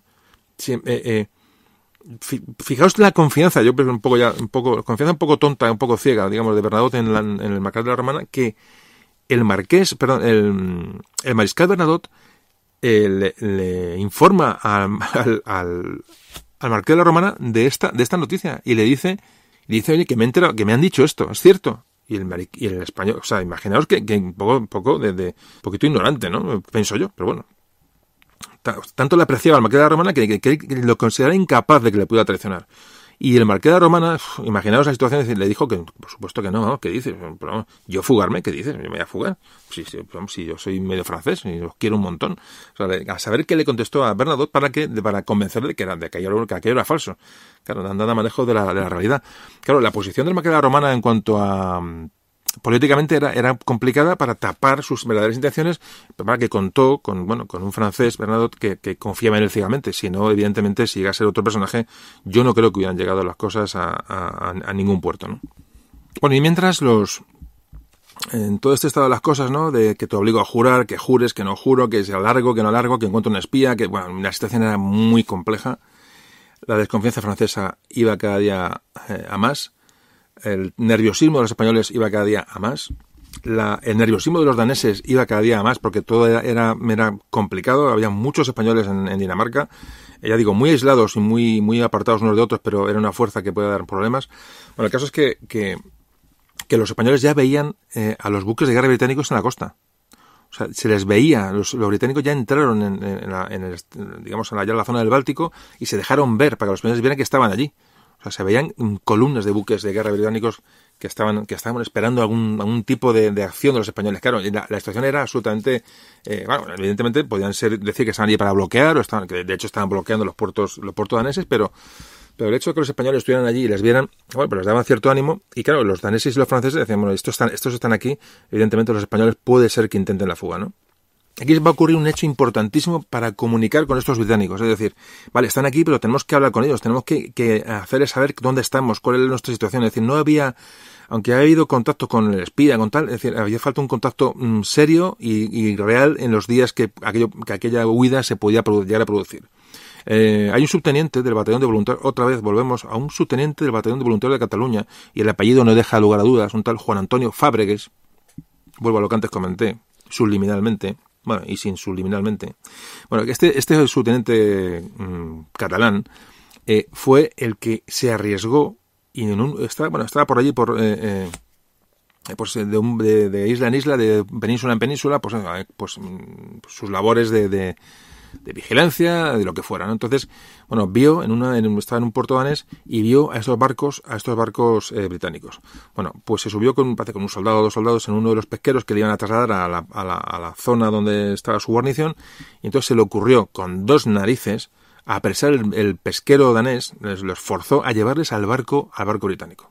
Y este acto de heroísmo que realmente se juega la vida, este Fábregues, bueno, logra llegar al un buque británico y casualmente en ese buque británico se encuentra con un enviado, pura casualidad, en ese buque estaba un enviado que estaba allí esperando a intentar contactar con el, con el marqués de la Romana, en un enviado de las juntas, estas juntas de que se formaron en España después de la invasión napoleónica, con las juntas de Sevilla, de Asturias y Galicia. Bueno, pues un representante de estas juntas de, resistencia estaba en ese barco, el que había mandado de España para intentar contactar con el, con el, con de la Romana, estaba casualmente en ese barco, o sea, casualidades de la vida, porque no, no se puede decir de otra manera. Bueno, pues el, justo el único tío que se escapa para intentar contactar con los ingleses, se encuentra en ese barco está el único español que estaba intentando contactar con, con los españoles en, la, en Dinamarca. Bueno, a veces las cosas suceden así. Entonces, claro, le da una alegría a los dos tremenda, sobre todo al español, o sea, al, que venía de España, porque estaba buscando un contacto, entonces sube este subteniente, hablan entre ellos, dan, entonces le pasa mucha documentación que llevaba sobre un, planes de fuga, planes, supuestos planes de fuga que los ingleses habían diseñado para las tropas españolas, el, subteniente español le cuenta un poco las, dónde estaban situados unos y otros, es decir, allí hay un contacto directo eh, en el cual ya empiezan a, a dar, poner fechas y poner lugares a los, la posible fuga de la, de, ojo, de la posible, posible fuga de 15.000 españoles, de 15.000 y muy dispersos. Claro, el plan era prácticamente, prácticamente imposible.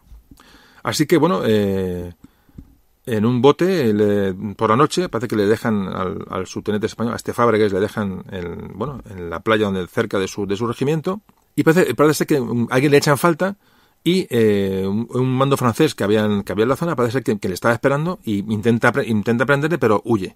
Este, Fábrica, este Fábregas, o Fábregues huye y se dirige a Niborg. A Niborg, donde sabe que está el mando, el cuartel general. Claro, él iba a llegar a su, a su regimiento, informar a su, a su jefe para que él, por un método más, más, más rápido, más seguro, eh, comunicar a Niborg la, el contacto de este español con los buques británicos y con, y con las juntas de, las juntas de resistencia. Entonces, claro, al, al ser intent, al intentar ser apresado por los, por los franceses que detectan y ya están con la mosca detrás de la oreja, este escapa y va directamente al cuartel general. No sabemos cómo llega a Niborg, pero llega además muy pronto. Eh, debe ser un tío hábil, un tío que, sabía lo que hacía. Entonces llega al cuartel de, del, del, del, Marqués de la Romana en Niborg y, y se entrevista con, con O'Donnell. Bueno, un suceso importantísimo para el devenir de, de, la, de esta historia que estamos contando, ¿no? Cómo, cómo contacta este, este catalán con, bueno, le echó dos narices para, ya digo, para lanzarse por el buque, británico y luego volver y luego huir y llegó, digo, comunicar todo lo que lleva. Entonces, claro, le pasó toda la documentación al cuartel general español, con lo cual, bueno, ya está, como antes comentaba, pues ya estamos un poquito, mm, bueno, con cosas mucho más ciertas. Bueno, pues esta, esta historia que estamos contando ahora mismo, eh, fijaros, ah, vuelvo otra vez a lo que es la historia y cómo la historia puede avanzar y pues se pueden descubrir nuevos documentos y nuevas fuentes. Esa historia que estamos contando ahora mismo es, mm, es descubierta, está inédita hasta 1932 donde se descubren estos documentos de un sargento que se queda al mando de la unidad donde, donde huyó Fábregues, contó después en sus memorias que este Fábregues llegó allí y huyó con, la, con documentación para entregársela a los mandos en Nibor. Pero eso no se sabía. O sea, nadie sabía. Entonces, claro, apareció esto en 1932, es decir, ayer, ¿no? Quiero decir que, que la historia está abierta siempre. Es decir, como contamos cosas, los historiadores investigan. Eh, por cierto, un homenaje a los historiadores que se pegan, esos historiadores que son ratas de biblioteca, con todo el cariño se ha dicho la, la palabra rata, eh, que se investigan documentos y que gracias a ellos escriben libros, aportan documentación y luego, pues, pues gente pues como nosotros, como aquí en el Memoria de un Tambor, pues podemos contar, ¿no? Con cierta cierta fidelidad y cierta seguridad en que lo, que contamos es real, ¿no? Porque ha habido previamente gente que se ha pegado horas y horas y días y días y meses y meses leyendo legajos para construir una historia más o menos, más o menos segura. Eh, muy importante la labor de los, del, investigador de historia, algo mm, fundamental, ¿no? Que, voy a contar. Bueno, em, entonces, como digo, esto, fijaos, esto se descubrió en 1932, que, que Fábregues huyó y se fue a Nibor. Bueno, el caso es que automáticamente cuando se sabe que los ingleses ya están en disposición de intentar una evacuación, cuando Fábregues comunica esto al cuartel general español, automáticamente el marqués de Romana y de O'Donnell mandan em, emisarios a todas las unidades de Fionia y a, y a, Jutlandia y a donde a todos los lugares para diciéndoles que bueno, eh, eh, em, que les ordenan. Evidentemente no les, la orden no viene que, que, va a haber una, evacuación porque tampoco pueden eh, pueden ser detectados o pueden ser interceptados como de hecho ocurrió. Le dice simplemente que, que les ordenan que se pasen a la isla de Fionia, donde están, donde, repito, isla de Fionia, donde está la, el grueso de las tropas españolas y una isla en bajo dominio español, que todos los regimientos que están en Jutlandia se pasen a Fionia, incluido Kindelan, del cual no sospechan que es un afrancesado y que les está, les está traicionando.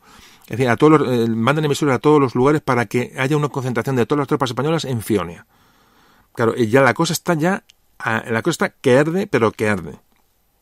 Entonces los, los, Claro, estos estaban más o menos cerca, podían ir a Fionia, aunque estaban lejos en Jutlandia a Fionia, bueno, podían eh, pasar el, en, en, un estrecho, estrecho relativamente relativamente estrechos, valga la, redundancia. Entonces, bueno, pues, pues con pesqueros y bueno, y, bueno, y con poquito de paciencia podían pasar de un lado a otro, es decir, se podían reunir todos, pero hay un problema, eran los dos regimientos que estaban en Selandia.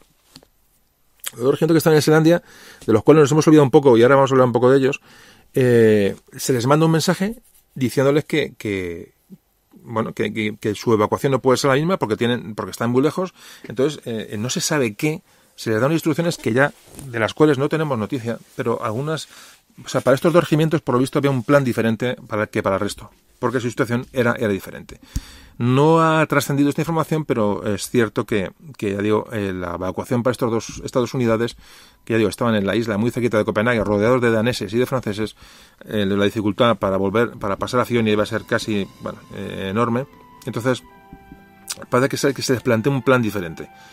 Bueno, hay que comentar antes de pasar a otro tema que Inglaterra nos va, a ayudar, pero el tratado, aunque el tratado de, digamos, el tratado mm, oficial de alianza con Inglaterra se firmó el 14 de enero de 1809, es decir, mm, un año después, por la cuenta que le tenía a Inglaterra para vencer a Napoleón y, tener el apoyo de los, españoles, en Inglaterra se, bueno, se, redactó un decreto el 4 de julio de 1808, 4 de julio de 1808, es decir, justo después de, las, de, las, de los sucesos de mayo de Madrid y el levantamiento en, en España, en el cual consideraba a España y a los españoles alzados como potencia amiga y se ordenaba favorecerles en todo para conseguir su triunfo.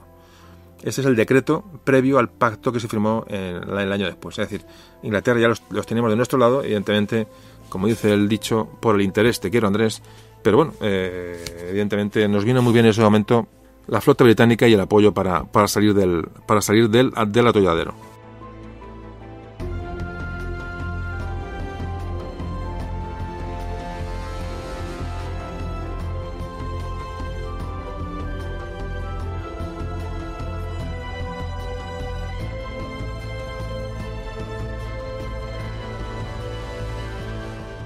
Bueno, antes nos dejamos esas dos unidades a los regimientos de Asturias y Guadalajara, regimiento de infantería que estaban en Selandia. Selandia, vuelvo a repetir, es que no quiero ser pesado.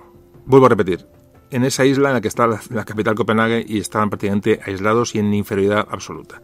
Bueno, estos dos regimientos que estaban allí, eh, lógicamente por esa política de dispersión ¿no? de unidades que, que los franceses habían ya programado para los españoles porque temían una posible reacción, bueno, pues estos dos, estas unidades que estaban allí estaban bajo el mando de, un general de brigada francés, llamado Fridion, que eh, tenía el mando de, estos dos, regimientos que formados por seis, eh, por seis batallones. Digo, hemos dejado esta, estos regimientos para contar un poco su historia ahora porque tiene, tiene también su, tiene su miga. Bueno, estaban en la ciudad de Roskilde, Roskilde que está al norte de la isla de Selandia. Una ciudad de entonces tenía unos 2.000 habitantes y, el resto de, cuerpos españoles estaban pues muy cerca de, cerca de allí, ¿no? Eh, cerca, acampaban cerca de Roskilde, en están más o menos agrupados las, los dos regimientos, tanto el Asturias como el Guadalajara. Y entonces eh, volvemos un poco hacia atrás eh, cuando llegaron las órdenes de juramento. Bueno, pues estas unidades que estaban en la zona más peligrosa y más y con menos posibilidades de hacer cualquier nada, eh, fijaros lo que son las cosas. Bueno, pues llega, llegó allí el enviado de Bernadotte con, las, con la orden de juramento. Repito, vamos un poquito hacia atrás en el tiempo porque es un tema que quería contar aparte y se le ordena al, general francés que había relevado a un, coronel español muy poquito antes que haga eh, jurar a los españoles eh, la fidelidad al nuevo rey. Bueno, pues el coronel español, viendo que, dice, madre mía, la que nos vamos a meter, parece que dice, bueno, déjalo para otro día, déjalo un día a ver si podemos contar a la gente, con la gente, tranquilizarla, decir, vamos a hacer una, tarea de, eh, pedagógica para, con, las, con las tropas para, para que, bueno, para que no monten aquí, no monten el pollo entonces, eh, parece que bueno que el, el, francés vale le dice que vale que puede esperar un día o dos y que bueno y que perfecto y parece que, que, este francés eh, había ofrecido mm, en vista de no solo ocurre otra cosa que, que ya había rumores de ese, juramento entre las tropas. Bueno pues entonces el, el jefe francés les ofrece una ración extra de aguardiente a las tropas españolas lo cual lo toman como un insulto y como un intento de compra. O sea, no solamente no consigue que la gente le solo agradezca, sino que encima dice este el, dice el gabacho este nos quiere nos quiere comprar, nos quiere llevar al, huerto, ¿no? Imaginaos la cuestión. Ya la cosa está muy caliente en la ciudad la ciudad de Roskilde con estos dos regimientos más que aislados, el Asturias y el, Guadalajara. El caso es que la, la, la tarde la tarde que se bueno que que se mm, que se iba a hacer el juramento el regimiento, un batallón del regimiento de Asturias estaba en la plaza del pueblo de, Roskilde y el, jefe francés estaba muy cerquita en su residencia, que era un palacio que estaba en la, misma, ciudad. Así que se acerca el coronel español eh, y le dice que informa, informa a los soldados de que, bueno, de que la ceremonia se tiene que hacer al día siguiente a las, a las 12 de la mañana y los soldados le dicen que de eso nada pero directamente dicen con él, dice no, o sea, aquí no va a jurar nadie. Lo, mismo que pasó en otras unidades eh, en otros sitios. Solo que estas unidades están en una zona para no hacer verbuconadas. Pero bueno, le dicen que no, que ellos no gritan, que, no, que le gritan que no, que no van a, que ellos no, que no juran a, José, a José Bonaparte. Entonces hay un capitán del regimiento de Asturias, eh, se llama Santiago de Miguel, que escribió sus memorias en 1818 y entonces eh, describe ese momento cuando, cuando les propone el juramento coronel a su, a su gente. Dice, la cólera que se apoderó de los ánimos de aquellos españoles y comunicándose con una rapidez eléctrica a los batallones que estaban en el campamento, combinaron repentinamente entre estos y los del cuartel general una especie de revolución para rehusarse a no prestar el ridículo juramento. dice que aquello se corrió como la pólvora entre los, entre los soldados españoles y que aquí se montó allí, se montó la tremolina. El, claro, el coronel español trató de el coronel español les trató de decir, bueno, vamos a ver chicos, si estos juramentos lo han hecho todos los demás, vosotros porque o sea, intentando suavizar, porque además es una situación de aislamiento absoluto, intentó convencerles para que juraran. Eh, ah, diciendo que todos los demás españoles habían jurado, dijeron que no, o sea, que, ellos que no juraban. Otra que la Constitución se puso de rebelión tan absolutamente grave con, con el motivo del juramento. Fijaos, en el fondo es una rebelión, pero que, pero que, que qué suceso tan, tan, tan de reseñar, ¿no? Que gente, soldados, ¿no? Que al final, al final eran soldados, ¿no? Está hablando de gente del pueblo, eh, no sé, es una cosa, pues una cosa bonita, ¿no? Que en Dinamarca, aislados, con el riesgo que aquello conllevaba, se negaran a jurar eh, fidelidad a un rey. Es que uno lo traslada al día de hoy y dices, no sé si, no sé, son cosas que, te hacen reflexionar mucho, ¿no? Estas, estas, estas, estos comportamientos, ¿no? De, como siempre digo, que son al fin y al cabo gente que vivió no hace mucho tiempo y qué, qué maravilla, ¿no? Qué, qué, qué convencimiento, ¿no? En, en, sus, en sus creencias, en sus... no sé, me parece, me parece algo, algo, algo a, remarcar y a aprender de ello, ¿no? Sin duda. Entonces, digo, el coronel se intenta convencer y la gente dice que no. Que ahí, entonces, la cosa se pone tan, tan, tan complicada que el, digamos, el coronel español, y con, digamos, en, de acuerdo con el, con el jefe francés, digamos, crea, digamos, dicta una, una, digamos, un estado de sitio entre los españoles. Dice que impone la, impone la pena, la pena de muerte al que, al que después del, del atardecer estuviese en la calle.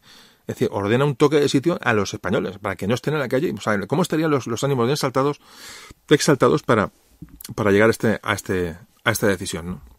Claro, la gente iba llegando de los batallones de los dos regimientos, va más, y entonces eh, bueno, se iban calentando unos a otros, eh, me imagino habría bulos, habría, habría rumores, bueno, el caso es que incluso muchos oficiales no sabían qué estaba pasando, tampoco podían hacerse con la gente porque, realmente incluso estaban de acuerdo con sus propios soldados, evidentemente, eh, en, la confusión era absoluta y sobre todo la, bueno, el, enfado, ¿no? Y la, decepción, ¿no? De lo que estaba ocurriendo era, era todavía más, más grande, ¿no? Entre la, entre la gente. Así que, el coronel español acude a, visitar al, palacio donde vivía el, general francés a, bueno, a hablar con él para ver cómo, estaba la cosa. Pero que usted que al llegar al palacio se topa con centenares de soldados españoles que están en la puerta del palacio amotinados. Así que mm, imagina la sorpresa de uno, esto, ya, esto se ha ido a la mano por completo. O sea, se ha montado ya se ha montado absolutamente el, el, cisco, el cisco total. El, el general francés mandó a un ayudante suyo a ver, a ver, qué, a ver qué estaba pasando. Claro, enseguida los soldados españoles le reconocen al francés y entonces, claro, un, grupo de soldados, de granaderos, cuentan los, la digo, los, testimonios posteriores que le emprendió a golpes con el, con el francés, que le salvan por, vamos, llegó ahí un oficial danés, que los daneses más o menos les tenían, les tenían en consideración, y entonces les, saca del, de, la, bueno, esa agresión que estaba sufriendo y parece que les, les, salva, les salva la vida. Y mientras mete al francés en palacio, salvándole de los rebeldes españoles, eh, no pudo salvar a otro, a otro ayudante del, del, general francés que murió, vamos, le, le, dispararon y, le, le, mataron en la puerta, en la puerta del palacio. Arrastró este danés el cadáver de este, de este francés, es decir, em, salvó a otro francés que pasaba por allí. Este danés intentó, mm, ya digo, salvar a los franceses que estaban pasando por allí y los españoles se los estaban directamente, se los estaban, se los estaban cargando uno a uno. Estamos hablando de un tema muy serio, que, no está hablando, ah, que me revelo, protesto, no. Está hablando de, gente que estaba dispuesta a todo con tal de, no jurar al, rey, de Francia, al rey, o sea, al rey español, a cosa de buena parte. Entonces, eh, fijaos cómo se cuenta también de testimonios que llegó un sargento español que se puso en la puerta del palacio, sacó el, sable y gritó en francés. Dice, todo el francés que pase por aquí está muerto. O sea, la mm, rebelión era absoluta. Y ocurrió justamente en, las, en, los regimientos que están más alejados y con menos posibilidades de, digamos, de triunfar.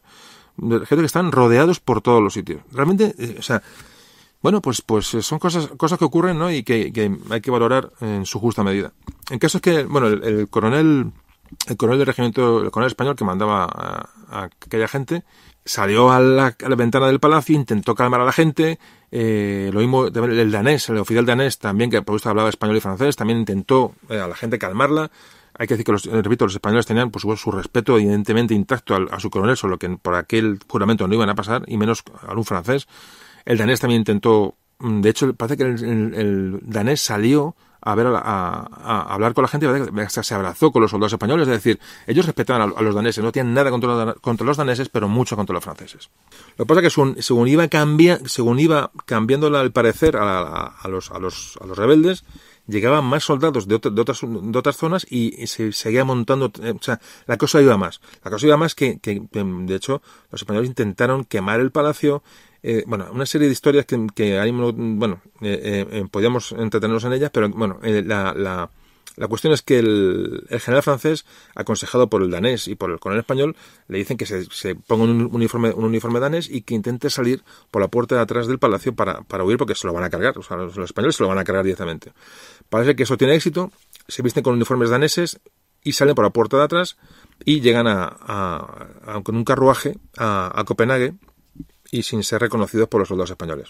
El, coronel español que se queda en el palacio sale al este y parece que convence a la gente, decimos, a ver, el, este, y parece que suelta el rumor de que ha sido asesinado el, general francés. Parece que los españoles se lo empiezan a creer, no le, no le ven por allí. Bueno, no sabemos qué ocurre exactamente, pero parece ser que el coronel español calma a los, a los amotinados. ¿Qué pasa cuando llega el francés a Copenhague? Bueno, pues que, el, en Copenhague estaba el rey, el rey de Dinamarca. Entonces ordena a las tropas danesas salir a, aplacar, además sabiendo que son dos regimientos, pues imaginaos el problema que tenía. Si llegan a ser 7, siete 8 mil soldados, se lo hubiera pensado, pero eran dos, dos regimientos. Bueno, pues manda a las tropas danesas, las que disponía, a salir a por ellos y, y, y, a, y controlar la rebelión. Lo que pasa es que a alguien le llegan noticias de que la cosa se ha calmado, que el palacio, que la gente ha abandonado el motín, que han vuelto a sus, a sus, unidades, que el coronel español se ha hecho con la gente y para no meterse en líos con los españoles, pues parece que, los daneses mmm, paran la máquina y no van a, abortar esta, esta, esta, esta rebelión de, los, de las unidades españolas. Bueno, pues, eh, ¿qué ocurrió? Pues que el, este danés, este oficial danés, llama, se llama Dorigny, eh, que era danés y que era el que había intentado un poquito aplacar las, los ánimos, parece ser que se le, mm, se le nombra jefe de, la, de, las unidades españolas, eh, mm, pues, pues que el francés, evidentemente, no iban a poner otra vez al jefe francés. Pero fijaos cómo será la cosa que cuando le, les dijo el danés que ahora él mandaba, las unidades, los soldados vitorearon al rey, de, al rey de Dinamarca y le prometieron obediencia y dijeron que no había ningún problema. Que a muerte con el danés, que yo no tengo ningún problema con el danés. Imaginaos la, la cuestión, claro, esto es una cosa que, que, uno se pone ahí en el pellejo de esta gente y es, y es, y es realmente, realmente llamativo, ¿no? O sea, como, como esta gente, no, no, es que no querían a, los franceses. No querían a los franceses ni en pintura. Y llegó el danés y le, vamos, y, le, y le, aclamaron y viva, y viva el rey de Dinamarca, pero no a Francia, no a Napoleón, no a José, no a José Bonaparte, porque sabían lo que estaba pasando en, su país, ¿no? Eh, mmm, no sé, es un dato que es muy importante. Más que nada, luego es, hablamos de, de estos temas, va a ser largo el podcast, pero no importa. El, hablamos de estos temas como la anécdota de Dinamarca, las unidades, ¿no? Pero luego si hablamos, vemos ese trasfondo histórico, ¿no? De cómo era el cuál era el sentir de los españoles hacia unos, hacia otros.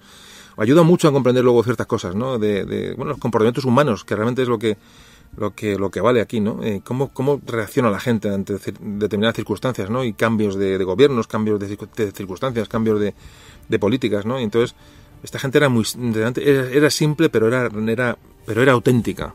Eran auténticos, esta gente eran auténticos, yo estoy convencido. Serían gente sin cultura, gente probablemente sin formar, gente obligada a alistarse por, bueno, por leyes de vagos, por quintas o por lo que fuera, pero pero el sentimiento que tenían dentro era, una raíz de, de, histórica, ¿no? que venía de muy atrás, ¿no? Entonces no les, no les comprabas, para nada. Y no tienen miedo a dejar la vida en Dinamarca, ¿eh? pero para nada, imaginaos lo que estamos contando, pero para nada. ¿eh? Realmente hace, hace reflexionar.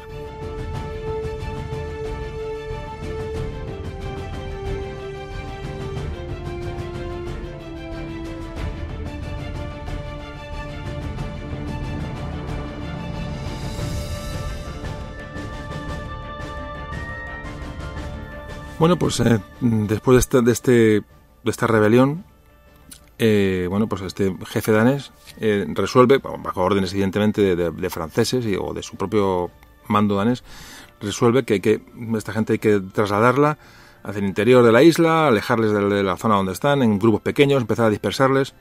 Parece que, que los, los, que participaron en, la, en los asesinatos eh, parece que son, son encarcelados, eh, la cosa se empieza a calmar, se accede a todo este tema, en fin, los españoles también bien que la, la situación les puede llevar a la muerte segura, es decir, no, tampoco pueden presionar mucho, porque son, cuatro gatos literalmente. Y Bernadotte recibe las noticias de recibe las noticias de que lo que, ocurrió en Roskilde y el general francés que estuvo a punto de, bueno, de ser cazado por los españoles y parece que manda una carta al, marqués de la Romana diciendo contando lo que pasó allí. Y el marqués, el marqués le contesta bueno, pues disculpándose, que tal, que el nerviosismo con los españoles, que tal, que un malentendido, que lo siente, que será, bueno, será, que será su honor restituido, que tal, que cual, en fin, el, el Romana no sabe, ya digo, eso ocurrió antes del, digamos, del todo el proceso de los ingleses, esto como he contado. Estamos hablando un poquito a todo lo pasado porque, porque el tema de Roskilde tiene, tiene su, tiene su miga, como hemos visto. De hecho, el Maqueda Romana, cuando contesta al general francés con disculpas y tal, aprovecha y manda otros emisarios paralelamente para que informen a las unidades españolas del plan de evacuación que tienen en Selandia. Lo que pasa es claro, los españoles ya están o prisioneros o controlados. ¿no? Entonces les dice, en el, en el, mensaje les dice a los, a, las, a los jefes de las tropas en Selandia, le dice, como justificando, digamos, su, su, su, su rechazo al juramento que ha hecho al, al, rey, al rey José Bonaparte. Le dice, soy español y quiero estar presente al tratarse del honor futuro de mi patria. Todo es preferible a la dependencia humillante en que nos encontramos, y decidí por lo tanto embarcarme con las tropas que quieran seguirme. Es decir, quien quiera seguirme, que me siga, que yo me vuelvo para España y vosotros estáis, eh, y os invito a que, a que, me venga, a que vengáis conmigo, ¿no? Un poco el mensaje que le manda el, Marqués de la Romana a las tropas que hay en Selandia. Pero le digo que les llega tarde porque están, están absolutamente neutralizadas.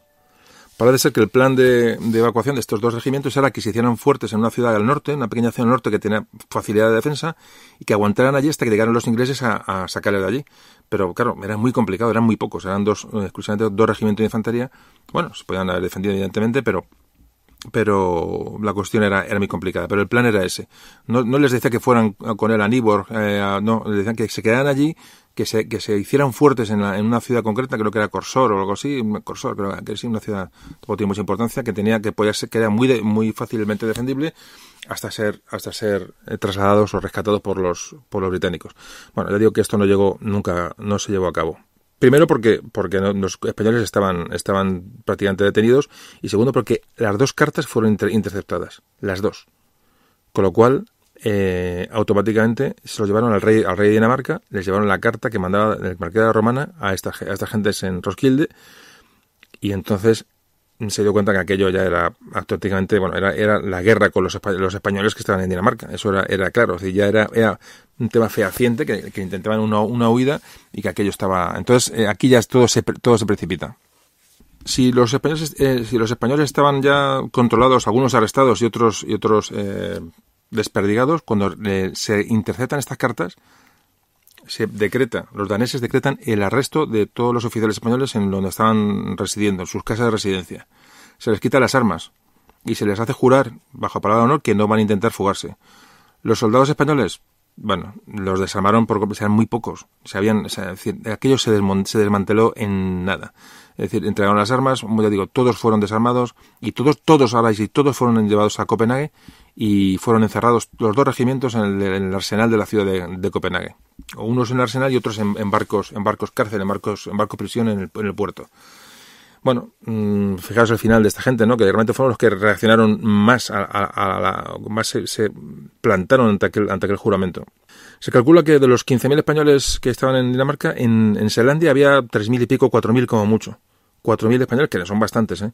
Estos dos, dos, regimientos de infantería eran unos, no llegaban casi a, o llegaban casi a 4.000 hombres. Pero en la zona, solamente en la zona había 25.000 soldados daneses. Con eso os digo todo. El resto, el, grueso del ejército español, el resto de los 15.000 estaban desperdigados algunos por Jutlandia, pero el grueso de las tropas estaban en, en, en Fionia. Bueno, no tienen, no tienen posibilidades y ya digo que fueron, fueron apresados. ¿Qué pasó? Que los españoles también se entregaron, ¿por qué? Porque se quedaron en manos danesas ellos no estaban tampoco, bueno, vale, pues estamos, incluso dicen, vale, a lo mejor nos, sacan de aquí. O sea, realmente ellos tenían una esperanza de que, bueno, de que, esa, de que la detención por parte de los, de los daneses fuera, les, les diera una salida de allí. Fijaros un poco la, la, la cuestión.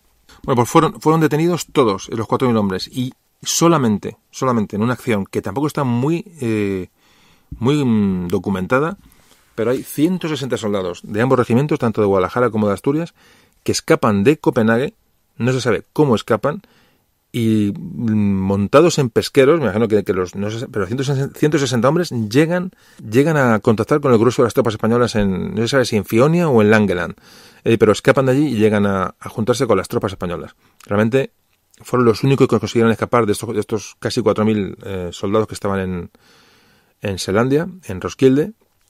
No se sabe cómo tuvo que ser otra peripecia tremenda, pero lo consiguieron.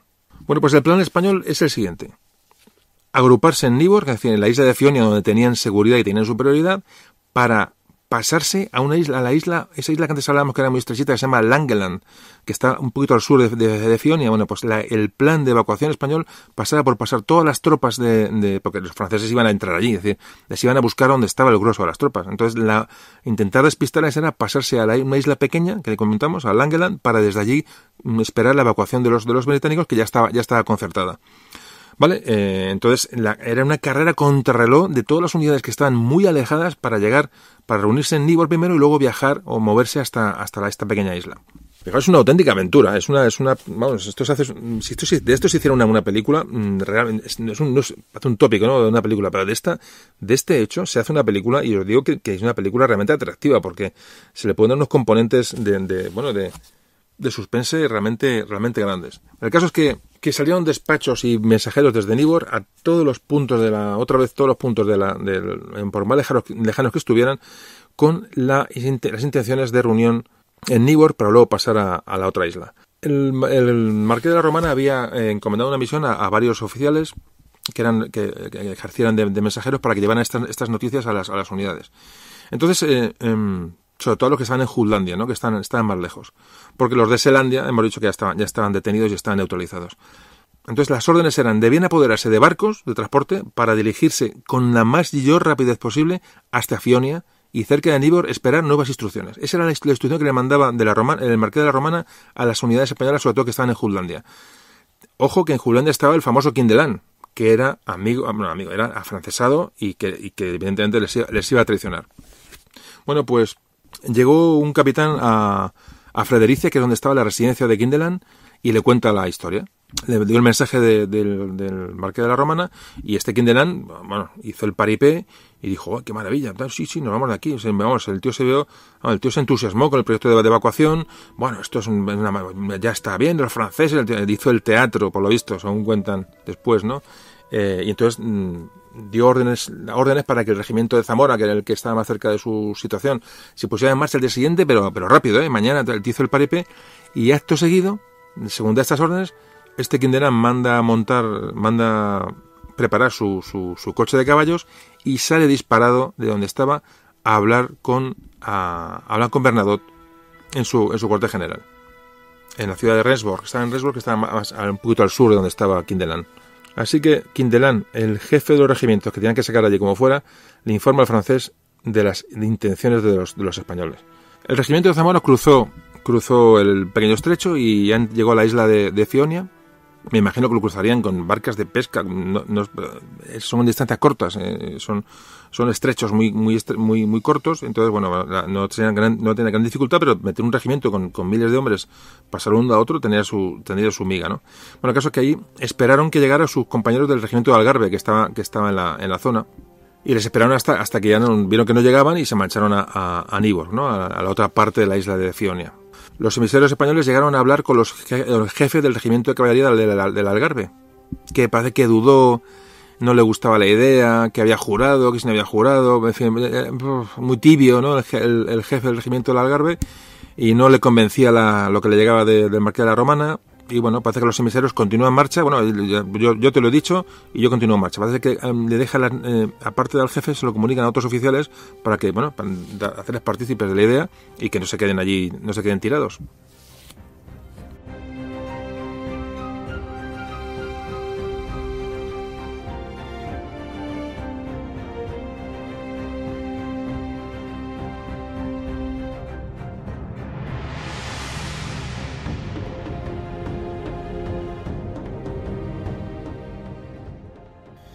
Bueno, pues los emisarios llegan, llegan a Arus, que está al norte de la península de Jutlandia. Si veis el mapa, diréis, bueno, es que, o sea, hablamos de un emisario, pero es que tuvieron que recorrer un montón de kilómetros para, para irse avisando. La verdad es que la situación es, es absolutamente de aventura de, absoluta, ¿no? Y de, de, emoción, ¿no? Bueno, el caso es que, ya digo, los, los emisarios eh, llegan a, Arus y ahí está, el, está acantonado el regimiento del rey. El regimiento del rey, llamado así, regimiento del rey, el coronel les recibe y entonces este coronel, que mucho más imaginativo y mucho más despierto que, que, que por ejemplo, que el del Algarve, que, que empezó a dudar o mucho más decidido, este hombre lo que hace es mmm, va a ver al comandante danés de allí, al de la zona. Al comandante danés le dice, oye, que, que me ha llamado el, el, marqués de la Romana, que hay un conflicto entre los soldados españoles, los que quieren jurar, los que no quieren jurar en Fionia. Me ha ordenado que pase el canal y que me vaya a la isla de Fionia para, para ayudarle y sofocar las, las, la rebelión de los, de los españoles. Entonces, eh, que es muy urgente y que va a embarcar el regimiento, que le ayude y que además, oye, para que veas que tal, te dejo los caballos de los, los caballos del regimiento de caballería, te los dejo a ti para que veas que no, como prenda, o sea, que nos vamos y volvemos. Entonces el danés se mira así de rojo y dice, bueno, vale, venga, sí, pero extrañado, ¿no? Porque evidentemente había un rumor entre todas las guarniciones francesas y danesas que los españoles tenían que estar controlados porque se temía se temía una, una, posible fuga, una posible rebelión. Pero claro, el otro le deja los caballos y dice, bueno, vale, pues vete a Fionia, tampoco te van muy lejos. Vale, entonces esta gente pues les busca las embarcaciones, incluso los propios daneses les proporcionan embarcaciones y pasan a la isla de Fionia y salen de allí así, pero vamos, salen, salen por, por pies. Lo mismo pasó con el regimiento del, el regimiento del infante. Eh, pues, los daneses les dejaron salir, les dejaron cruzar a, la isla de Fionia, pero con muchas reticencias. De hecho, de hecho mm, pasaron, o sea, pasaron a la, isla, la isla de Fionia y una horita, como, como digo, de, trama de película, solo una hora después lleva un correo, un correo de verdad diciendo que fueron apresados y detenidos los para impedir su, su pase a la isla. O sea, iban, iban absolutamente, la cosa era, era contrarreloj, pero de una manera más, más, más crítica. Bueno, pues solamente quedaba el regimiento del Algarve en, la península de, Jutlandia para, pasar a la isla de, Fionia. Entonces creo que mucha lentitud, el jefe no se decidió. Ya os digo, el, tema de, la indecisión ¿no? y de la tibieza de los jefes, parece que era un, coronel muy mayor, no quería mojarse, en fin, total que, que, aquella gente pues se quedó un poco, un poco perdida. Así que, como los oficiales estaban eh, al, al, al día de lo que estaba ocurriendo, pues parece que por su cuenta dijeron, vámonos de aquí, entonces emprendieron, emprendieron viaje a, viaje hacia la isla de, Fionia. Pero cuando iban camino de camino del bueno de encontrarse con las tropas españolas, este regimiento de caballería se encontraron con, con, que unas tropas eh, danesas les, pisaban los talones y les, llegaron a, interceptar. Hay daneses y franceses. Tropas que había mandado ya Bernadotte pues para, para intentar parar el paso de españoles hacia la isla, pero solo se encontraron con este regimiento de, regimiento llamado del, del Algarve. Fijaos la situación digo, los franceses, una fuerza combinada francesa-danesa, les encuentran. Parece que, que esta gente iba al, mando del capitán Costa, que fue el que, digamos, logró recuperar a la gente y convencerles de que había que salir de allí como fuera. Entonces, claro, se encuentran en, un camino pues con una, unidad francesa y, danesa que les, que les corta el paso, muy superiores en número. Entonces, bueno, pues hay un jefe francés que se acerca a los españoles y le dice que no pasa nada, que, que, que no se les va a tomar como traidores, que, oye, que vale, que no pasa nada, que, ellos comprenden su situación, que no pasa nada, que se que entreguen las armas, que no, no van a ser juzgados, que se les va a tratar, eh, bueno, como una falta, que en fin, imaginaos la cuestión, que van que no van a ser considerados como enemigos, sino, bueno, como, como amigos que son. Entonces el, el capitán se dirige a los españoles y les cuenta lo que les ha contado el francés. Entonces, eh, seguidamente, lo que hace el capitán Costa es, les dice a sus soldados, dice, mira, aquí el único culpable soy yo. Mm, y yo voy a, o sea, yo os he traído hasta aquí, yo os he dicho que vengáis para conmigo y estáis ánimo aquí mm, en una situación mm, eh, límite. Entonces, como he sido yo el que os he instigado a que vengáis y os he animado a que vengáis, yo cargo con las culpas y, digamos, os exonero de todo de cara a los, de cara a los franceses y los, daneses. Claro, la, tropa le dice que no, que todos sean culpables, que, que de eso nada, que, que todos hayan ido por su, por su, por su propia voluntad y que bueno que todos apechugaban con la situación, que les tenían que detener, que les detuvieran y que les jugaran, pero que, que de nada, que de eso nada, que el capitán no tiene nada, bueno, que, era uno más, ¿no? Así que, después de todo esto, el capitán escucha lo que dice a la gente, pero se da media vuelta con el caballo y se va hacia el francés. Eh, que le entrega su sable el español al francés como un acto de rendición. Le dice al francés que no, que no hace falta que el sable, que son amigos, que no hay problema, tal. Entonces, automáticamente, en este, en este momento que están hablando tal, el capitán Costa saca la pistola mm, que llevaba al cinto y se dispara en la cabeza. Directamente. Así que mm, lo que se desprende de estos hechos de este capitán Costa, bueno, es que, que con su última, esta última, este último acto que hizo, pues quiso esculpar a sus hombres y, mantener su honor al mismo tiempo, ¿no? Eh, eh, vale, los entrego, eh, he hecho lo que he hecho, pero realmente el culpable soy yo, ¿no? Entonces, como así declararon los franceses. Que quería, que quería esculpar a, sus hombres. Entonces, bueno, pues, pues es un tema también bueno, a, reseñar, ¿no? De estas cosas que ocurrieron en Dinamarca, que realmente si no se cuentan y no se, no se rescatan del baúl de los recuerdos, nadie se acuerda de lo que esta gente hizo allí, ¿no? Y en concreto este, este capitán, que, que bueno, que presa de, de, esa, de esa desmoralización que le, que supone ver que ha sido mm, apresado y ha llevado a su gente a, ese, a esa situación, eh, antes, que, antes, de, antes de nada él se, se echa todas las culpas y se, y se pega un tiro. Realmente, ya digo que cada uno piense lo que quiera, pero me parece que son, eh, que son hechos y actos que merecen la pena recordar. Bueno, pues el regimiento del de la Garbe, este regimiento de caballería, fue apresado, al igual que el regimiento de Zamora y el regimiento de Asturias en, en Selandia. Esta gente no pudo, no pudo intentar la huida. Bueno, mientras el marqués de la Romana seguía su, su Mm, urgente plan de evacuación. La isla de Langeland. Repito, esta isla pequeñita que hay al lado de la isla de Fionia, donde los ingleses estimaban que la evacuación pueda ser más sencilla y con menos posibilidades de ser, de ser interceptados por los, por los franceses y los, y los daneses. Repito, si podéis ver el mapa os vais a hacer una idea mucho mejor del asunto. Eh, eh, realmente, fijaos que estamos hablando de, movimientos muchas veces que se dan de noche, eh, para que no se, no sorprendidos, muy, muy complicado. Más con, la, con había daneses y franceses por todos los sitios. Aunque hubiera superioridad española, tienen que hacerlo con mucho, con sumo cuidado, ¿no? Y Bernadotte estaba avisado ya hacía tiempo y había mandado tropas para interceptar a los españoles y que no escaparan de allí. Uno de los emisarios que mandó el marqués a, a mandar, a enviar las noticias a todas las, todas las eh, unidades españolas, a la vuelta fue hecho prisionero por ejemplo, desembarcó en Fionia y le estaban esperando. Es decir, que Fionia era una isla de, de superioridad española, pero no era, no estaba bajo su poder. Es decir, que había que tener cuidado hasta allí. Cuando hablamos de Fionia como la isla de, de, para regruparse, una isla muy grande, que sí, que tenía superioridad de las tropas españolas, pero nada más. Había daneses y franceses por todos los sitios. Entonces, este, este subteniente, que era uno de los emisarios que mandó el marqués de la Romana, fue detenido al, desembarcar otra vez en Fionia para unirse a su gente. Y ni, ni, ni, nada más ni nada menos que pasó cinco años en un campo de, concentración y se incorporó en el año 14 al ejército ruso y luchó contra los franceses en el ejército ruso. Y para luego volver, volvió a España y que, eh, contó sus memorias y hoy, las sabemos. Imaginaos la, la, peripecia ¿no? de, este, de este hombre. Bueno, eh, nos quedamos con que el marqués de la Romana continuó hasta el último momento mandando cartas a Bernadotte de lealtad y bueno y de pasteleo, ¿no? Porque realmente era lo, era lo único que le podía salvar. De hecho, ya Bernadotte, de la última carta que le manda al marqués de la Romana, Bernadotte le dice que qué está pasando. O sea, dice, oye, me está, está, diciendo, oye, esto ya no puede ser. O sea, que, que está, estamos, tengo noticias de rebeliones en, en, en Roskilde, de asesinato de franceses, de que, los ingleses han contactado contigo. Dice, entonces la romana le dice que todo lo que le cuenta que no sabe nada. Es la última carta que le manda de la romana a Bernadotte. Dice que no sé, lo que me estás contando no sé nada. O sea, seguía haciéndose el tonto porque no podía hacer otra cosa. No podía enfrentarse, no podía decirle la verdad. Y, y ya digo, aprovechándose de que Bernadotte, aún gracias a que Bernadotte tenía confianza en, de amistad ¿no? con, el, con el español, pues la cosa más o menos siguió avanzando, ¿no? De hecho, eh, de hecho el, marqués de la Romana le dice en la última carta al, al, francés, a Bernardo, le dice que haría todo, lo posible para asistir al cumpleaños de, Napoleón el 15 de agosto. O sea, queda con Bernardo para verse el 15 de agosto y ir, ir al cumpleaños del emperador. Eso es lo que le dice en la última carta.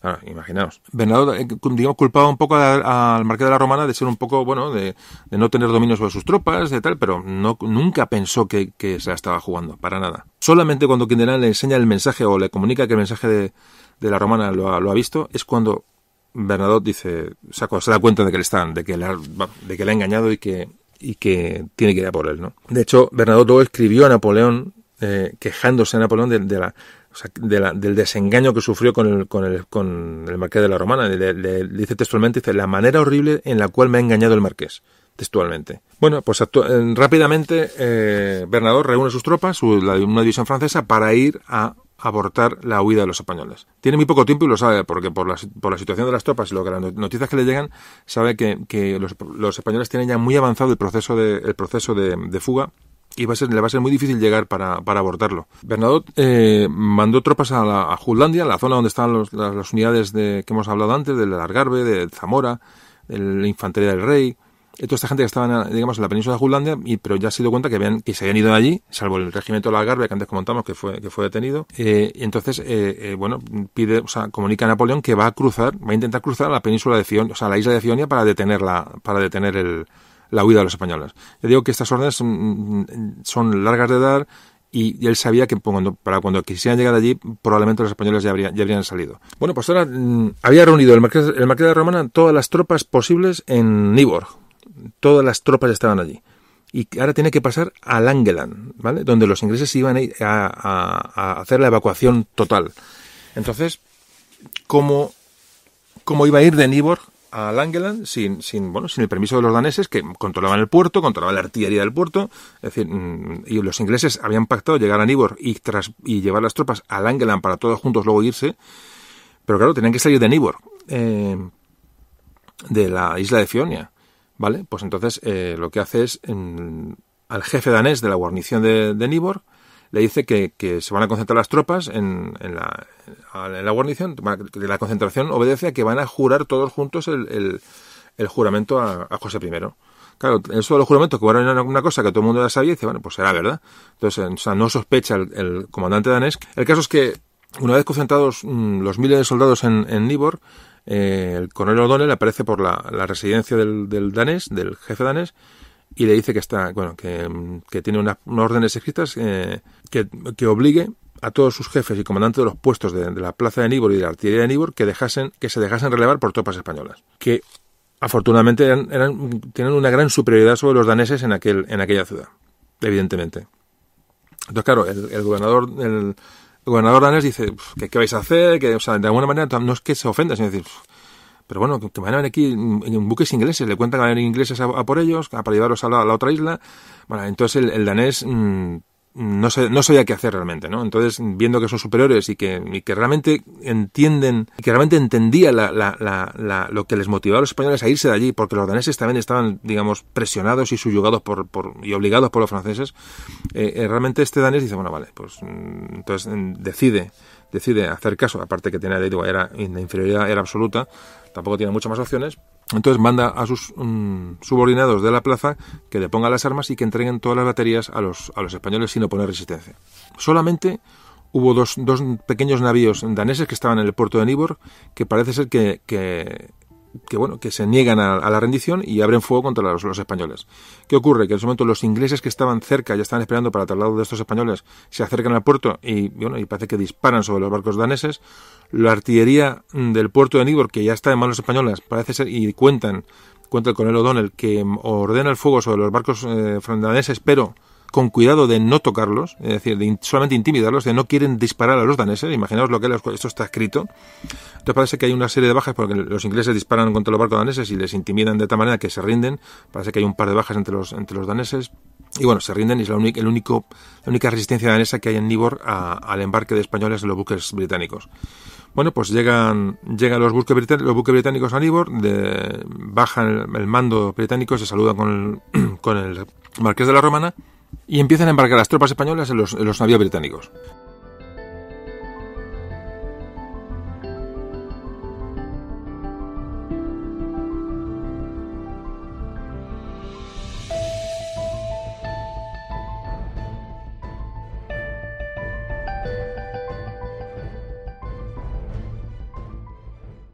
El embarque es, tremendo porque eh, los británicos no sabían que había tantos soldados españoles allí, allí reunidos. Entonces tienen que... que o sea, la, complicación es, absoluta tuvieron que usarse eh, 36 pequeños pesqueros que había en el puerto de Nibor, tres pesqueros daneses, eh, para, para llenarlos de soldados y, digamos, acompañados por el navío, por los navíos británicos, eh, llegar hasta la, hasta la isla famosa de Langeland, donde se reunirán con los que ya estaban allí. O sea, que, la evacuación no fue para nada sencilla porque los ingleses no sabían tampoco cuánta gente se iban a encontrar allí. Se encontraron con, que había 5 cinco, o 6 mil hombres que no sabían cómo transportar, ¿no? Bueno, pues el día 13 de agosto, las tropas de, del Marqués de la Romana que habían salido de, la, de Nibor, de Fionia, desembarcan en Langeland, en esta pequeña isla alargada que hay al sur de Fionia, donde se iba a hacer la gran evacuación, la evacuación del ejército de la división del norte al completo hay muchas anécdotas ¿no? que se pueden contar, pero la verdad es que son, son demasiado largas. Entonces, hay una que, es, que es, increíble porque el, el, regimiento de Villaviciosa llegó a Svenborg, a la ciudad de Svenborg, se encontró que no había embarcaciones suficientes para pasar a, a, para pasar a Langeland. Entonces, este, o sea, era todo un poco caótico. Hay unidades que pasaban a Langeland desde otro sitio. Es decir, o sea, fijaros que las órdenes eran concretas. Tenéis que reuniros todos allí. O sea, y cada uno que, mm, ¿eh? cada uno que como pueda llegue, ¿no? Entonces, eh, parece que este gente de Villaviciosa los caballos no cabían en, en los barcos y, parece que los caballos pasaron a nado el estrecho pero pasaron los caballos y muchos jinetes con los caballos, porque había una relación jinete, jinete y el animal eh, tremenda. Eso también es otro tema que se podía tratar, ¿no? De hecho, muchos, había mucho, mucha pena, porque gran parte de la caballería española se quedó allí y las escenas de, de, tristeza, ¿no? De los jinetes cuando dejaban sus caballos allí abandonados eran, eran enormes. Realmente hay que meterse el pellejo de aquella gente que vivía con su caballo mm, mm, día y noche durante años, ¿no? Entonces el, el hay un momento en que el Villaviciosa cruza a nado, con los caballos a caballo a nado, con muchos, con los jinetes, con los caballos cruzan el estrecho porque no cabían en los barcos. Imaginaos la situación. O sea, no estamos hablando de, ah, me paso un estrecho, no. O sea, vale, era verano, lo que tú quieras, eh, vale, en estrechos, estrechos mm, mm, que eran de poca, de poca longitud, lo que queramos. Pero la situación, si os fijáis, es, es de, de, de, de caos, ¿no? de, de, de bueno de, salvación a cualquier precio y, prácticamente con contrarreloj porque venían por detrás franceses y daneses no persiguiendo bueno, pues en la pequeña isla de Langeland, donde ya estaban los españoles que se habían hecho con el control, mm, bueno, el control se hizo de una manera también complicada, porque, porque en, la isla de Langeland había un gobernador danés, había fuerzas danesas y había un, gobernador francés. Es decir, entonces eh, llegaron regimientos allí de españoles, eh, allí se empezó, bueno, convivieron sin ningún tipo de problema, tenían orden los españoles que llegaron a, Langeland de, mantener la calma en la isla hasta que llegaran, hasta que los, acontecimientos se precipitaran del todo, es decir, no, no, la isla no se tomó hasta el último momento para no dar pistas y no, y no eh, digamos, no frustrar la, el plan de fuga. Entonces, estos regimientos que habían en Langeland se hicieron con la isla muy, muy última hora. Y el, el, bueno, el mando español que tomó la, la isla eh, pues le, hizo, le hizo, bueno, hizo jurar al, al, o le hizo firmar un, digamos, una, una capitulación al, al, al danés que la, que la gobernaba, que la mandaba, donde se le decía que bueno que, entregaba toda la que entregaba toda la, munición, artillerías, caballos, todas las embarcaciones, tenía, que entregárselas a, los españoles, que en caso de, un desbarco francés a la isla, el general danés y su gente debían mantener la neutralidad, es decir, si, porque claro, no sabían si los franceses iban a llegar, o sea, estaban mirando a todos lados a ver si un barco francés o alguna expedición francesa llegaba a la isla y abortaba la, huida. Y el día 13 de agosto, mmm, la flota de, barcos pequeños y de un navío de guerra británico llegaban a Langeland y desembarcaban todas las tropas españolas con el marqués de la Romana al frente. Claro, el, el danés, el gobernador danés, que ya sabía que, sabía que iban a venir los ingleses a buscar a los españoles, pero no sabía el número porque tampoco nadie se lo había contado ni nadie lo sabía realmente, sabía que, o sea, que en la isla había ya 2.500 españoles agrupados. 2.500. Pero es que en el, en el convoy que llegaba desde, desde Niborg, venían 6.500 más. Para completar 9.000 soldados que iban, a, iban a intentar salir de allí. Claro, digo, el comandante danés que estaba, vio aquello, dice, ¿de dónde salió tanta gente? O sea, él pensaba que los 2.500 que había en la isla ya eran los que, se iban, los que iban a evacuar, pero no imaginaba que desde esa isla que él, que él gobernaba o mandaba iba, iba, iba a ser la, la, evacuación completa, ¿no? Claro, se quedó súper sorprendido cuando vio bajar soldados y soldados y soldados hasta 9.000 soldados que se concentraron en una isla pequeñísima, ¿no? Bueno, pues fijaos que lo que son las cosas. Llegó la flota británica a Langeland y, bueno, se, y se acercó a la costa como estaba pactado. Hablamos de la tarde del 18 de agosto de 1808. El marqués de la Romana subió a bordo del, del navío británico, que sabéis cuál era. El Victory. El Victory de Trafalgar. Bueno, pues lo que son las cosas de la historia el Victory de Nelson, donde murió Nelson, el que luchó en Trafalgar, fue el navío británico que llegó a Langeland eh, como cabeza de, la flota para rescatar a los españoles de, bueno, de, su situación. Qué curioso es todo, ¿verdad? Bueno, el caso es que subió el Marqués de la Romana a bordo del Victory y allí, bueno, parlamentó con el almirante británico. Aquí hay un momento de duda, porque los británicos tenían orden de ir a de, esa, flota británica que iba a evacuar a los españoles tenía, también orden de neutralizar la flota rusa que estaba en el Báltico. Entonces, claro, hay una contradicción en, el, en el, jefe, el jefe de la flota británica entre si ir a por los rusos, llevarse a los españoles, no sabía qué hacer. Entonces, después de mucho darle vueltas, porque su segundo, el segundo al mando le decía que había que ir a por los rusos y los españoles, los españoles podían defenderse allí, porque eran muchos, y podían aguantar hasta que volvieran a por ellos, Claro, el marqués de Ramala dice que no, que no son muchos, que los franceses van a ir a por ellos, que los daneses van a ir a por ellos, que los franceses tienen cañoneras, que, que tal, que, esa gente merece, además le convence al inglés diciendo que esos, esos 9.000 soldados van a hacer mucho bien en la península eh, combatiendo contra, contra Napoleón, que puede ser que, se, que o sea, le convence diciendo, cuidado, que nos ha costado mucho hacer lo que hemos hecho, le cuenta todas las, peripecias que han pasado y parece que convence al inglés, de manera que el, que el jefe de la escuadra inglesa lo que hace es, él mismo se va a, a por la, a por la escuadra rusa, pero deja deja unos navíos británicos para escoltar a los españoles que van a seguir, van a seguir allí con, barcos pequeños. Es decir, sigue siendo la situación muy complicada. O sea, no se va de allí el inglés de casualidad. Y los, deja, ah, ya vendrá, por, ya vendrá por vosotros. Eso no ocurre de casualidad. Ya digo que, que el, marqués de la Romana le convence y, y, media flota, o gran parte de la flota, va por los rusos, que era su misión real realmente en el Báltico. Está en una misión secundaria, no, tampoco no, no, no lo olvidemos pero mm, el marqués de Romana le convence. Noches antes, cañoneras danesas eh, habían, bueno, mandadas por franceses, o gobernadas por franceses, habían estado bombardeando la isla de Langeland durante, durante dos días.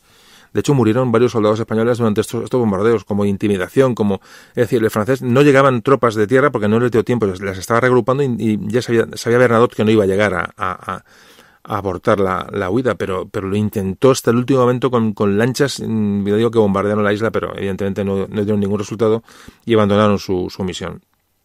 Las últimas horas en la isla de Langeland fueron terribles, porque los, digo, los españoles no sabían si los españoles, los franceses y daneses llegaban. Eh, no, hacía más que mirar al, al, a, bueno, a, a, la costa de enfrente a ver si venían por un lado, venían por otro, si venían cañoneras. Realmente estaban a punto de conseguirlo, eran muchos, se podían defender, pero, pero sabían que, todo dependía de, de, de, minutos, ¿no? Bueno, pues llegaron a la isla de Langeland eh, mmm, mmm, informes, pasquines que haya mandado Bernadotte para convencer a los españoles, diciendo que de la romana les había traicionado, que iban a acabar en no sé dónde, en fin, ya sabéis, ¿no? lo que es la, la guerra la, la, guerra psicológica. A Marqués de la Romana tanto, le importaba todo un bledo tanto que, él mismo leyó los pasquines a los soldados, diciendo, es, mira, esto es lo que dice el francés, que yo soy el malo, que os estoy llevando a la perdición y que tal. O sea, imaginaos la cuestión, ya, o sea, automáticamente los, los, los, soldados españoles estaban de parte de, de su jefe y no había ninguna duda en absoluto. Bueno, así que llega el momento en que hay un discurso de, de, del Marqués de la Romana en, en Langeland, que es un famoso discurso que, dio a sus, a, sus, a sus soldados, ¿no? Lo reunió a todos, y más o menos textualmente venía a decir esto. Decía, soldados, las juntas de Sevilla y Galicia, en nombre de todas las provincias españolas, se han dirigido a mí pidiéndome que nos apresuremos a volver a nuestra patria, para salvarla y para vengarla. Toda España ha tomado las armas para humillar a sus opresores que pretendían forzarnos a prestar un juramento de fidelidad absoluta. Allí seremos recompensados con la admiración general y el agradecimiento eterno de nuestros conciudadanos. Aquí solo nos espera la infamia y el envilecimiento. Insoportable para el soldado español que nunca retrocedió, en cambio, ante una muerte honrosa. Esto es lo que les, les dice el marqués de la Romana a su gente en Langeland, que ha pasado la historia como esa, arenga, ¿no? Que le dicen, vámonos de aquí y vamos a luchar donde tenemos que luchar, ¿no? Pues la isla quedó prácticamente esquilmada los días que estuvieron allí los españoles, que no fueron muchos por, por suerte para ellos. Eh, quedó el marqués de la Romana con el gobernador danés en que, que se llevaba, digamos, anotado todo lo que le había supuesto, el que había gastado de más y que la, bueno, la merma que le había causado a la isla y bueno, y quedó en resarcirle pues cuando llegara a España, que, bueno, eso fue lo que quedó. No sé, no, no sabemos, o no he visto documentación sobre si más tarde de la romana cumplió la, bueno, la, cuenta pendiente con el, con el danés, ¿no? Bueno, pues llegó el, día 21 de agosto, por fin, eh, de la romana se despide con toda la gente embarcada. Le digo, aquello tienes una flota de lo más variopinta, con pesqueros, con lanchas pequeñas, con buques ingleses, bueno, aquello, aquello parecía, mmm, Dios sabe qué. Se despide de la romana del, del danés, y bueno, automáticamente comunicó el danés, bueno, lo que había pasado al, su, a su rey, en fin, ya empiezan a ver ya luego ya lo que es el epílogo de la, de la historia. Bueno, pues el, eh, los españoles embarcan y zarpan hacia Suecia. La Odisea ha terminado. Ha terminado para unos pocos, para 9.000, porque otros 5.000 se quedaron en, en Dinamarca.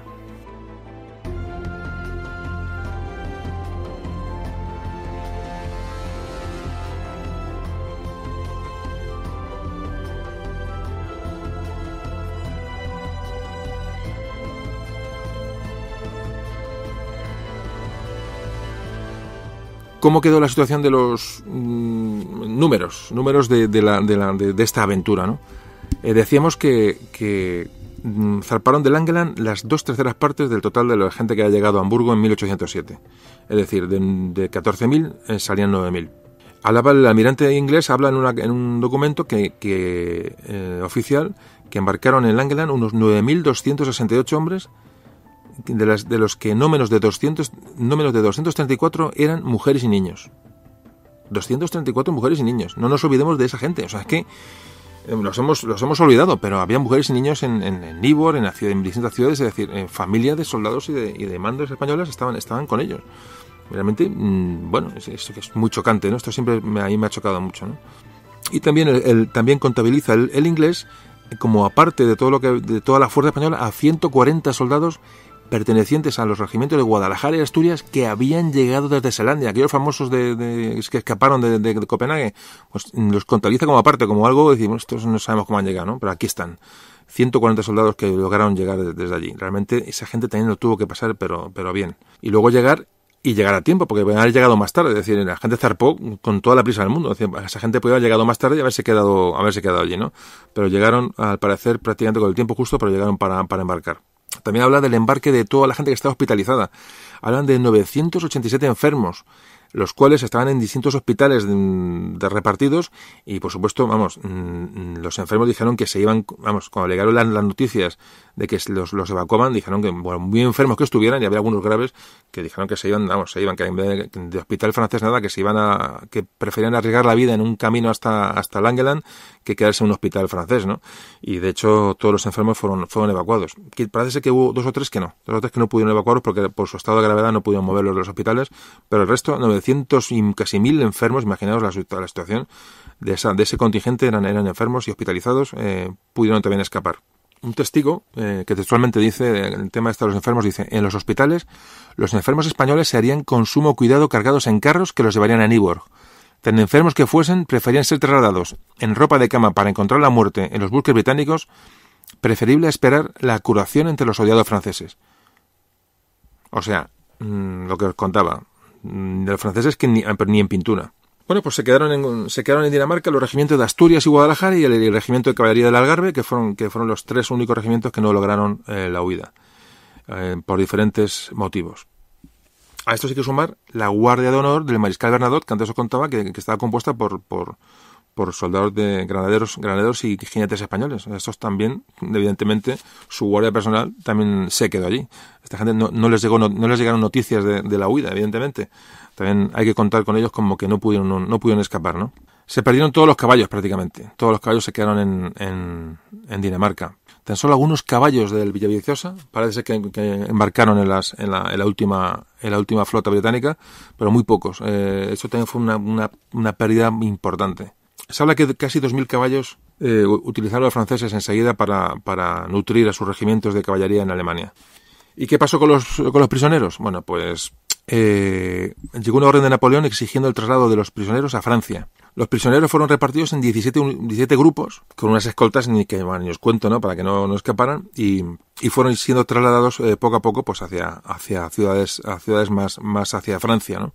El, pero todo muy penoso y bueno, realmente los, el cautiverio de los españoles en Dinamarca, como todo en esta época, no era, fue realmente terrible, ¿no? Mientras estuvieron en la zona de influencia de Bernadotte y de los daneses, bueno, más o menos la cosa fue bien. Pero cuando perdieron su zona de influencia de, de, de Bernadotte, que se portó bien hasta el final con los españoles, es una cosa que también no se, no se puede reprochar, ahí empezaron a, pasar las mm, canutas. Eh, hablan que llegaron a Hamburgo el 19 de octubre, llegaron a Hamburgo 4.000 prisioneros de Selandia, 4.000 de Selandia, los, los regimientos de Asturias y, y, Guadalajara, y estaban esperando la llegada de 1.500 más, que supongo que sería el regimiento de la Carve y alguno más que estaría por allí. El general Quindelán, el afrancesado, había ayudado a toda mm, la evacuación de prisioneros, pero él era también prisionero, ojo, ¿eh? O sea, el, el afrancesado Quindelán no se le trató, no, se, no tuvo trato de, de, amigo, ni mucho menos, era también prisionero. De hecho, tuvo que, exhortar a Napoleón que le, que le, diera un trato digno como, como una persona que había colaborado con, con o sea, realmente tuvo su merecido, aunque no, no el que debiera. ¿no? Como decía, la, la, la, bueno, el trato de los franceses a los españoles fue, fue horrible. De hecho, hubo protestas de la población civil danesa y de los alemanes cuando estaban en Alemania, incluso algunos franceses. O sea que, que eso también está, está, mmm, está escrito. O sea, había tal inquina hacia el español por parte del francés y viceversa, que realmente cuando podían uno a otro se, se, la, se, vamos, se la daban pero bien. El caso es que los prisioneros españoles tenían la esperanza, la esperanza de que, bueno, de que les dieran, dieran la oportunidad de jurar otra vez, y que bueno, aunque fuera, en fin, ellos tenían la esperanza de, de pues luego lo contaban, de, salvarse, y de hecho juraron más tarde mucho fidelidad a, al rey José I. Multitud de, no podemos extendernos mucho, pero hay multitud de casos de, de comportamiento de la población danesa con los españoles, de, de ayuda a, los, a esas columnas de prisioneros que iban pasando por todo el país, porque además muchos los conocían de que también está en su localidad, entonces eh, bueno, hay un montón de casos, ¿no? De, de muchas ciudades, ¿no? De, que les dan tabaco, que les ayudan, que les levantan, que les dan agua, que les intentan ayudar a, a esos prisioneros porque los muchos los conocen y además tienen una buena, un buen recuerdo de, del soldado español. Y como decimos, con el momento que pasaron el Rin, eh, pues eh, eh, que donde llegaba, digamos, el, el, la, la, la, llegaba la mano de Bernadotte, pues ahí el trato fue mucho peor. Hay una contabilidad de prisioneros españoles en Francia, del, de la época un poquito después de estos acontecimientos, que hablan de que en Francia había unos 6.500 prisioneros españoles, eh, de los cuales pues la inmensa mayoría eran de, evidentemente del cuerpo, del cuerpo expedicionario del, norte, de, del Marqués de la Romana.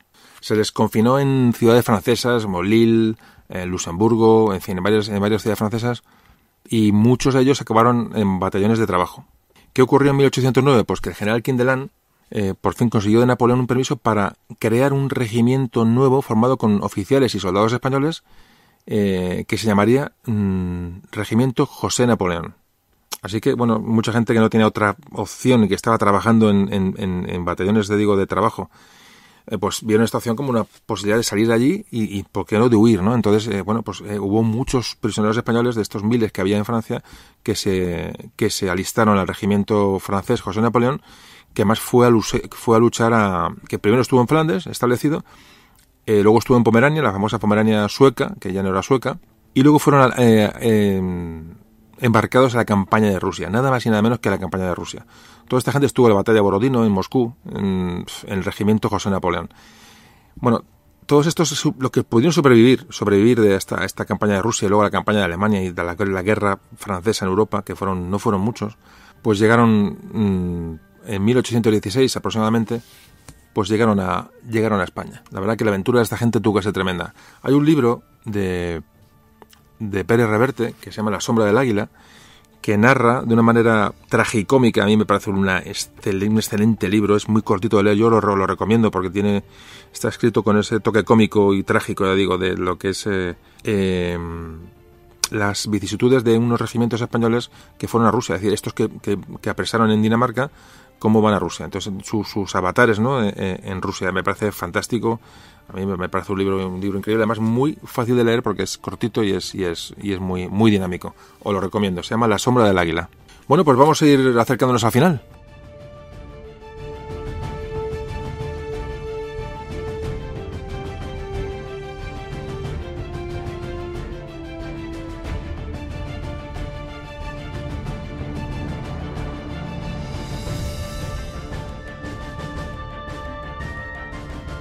Pues Bernadotte informó a, Napoleón de lo que había pasado, de que el desastre del, del Angeland, de la, huida de los españoles.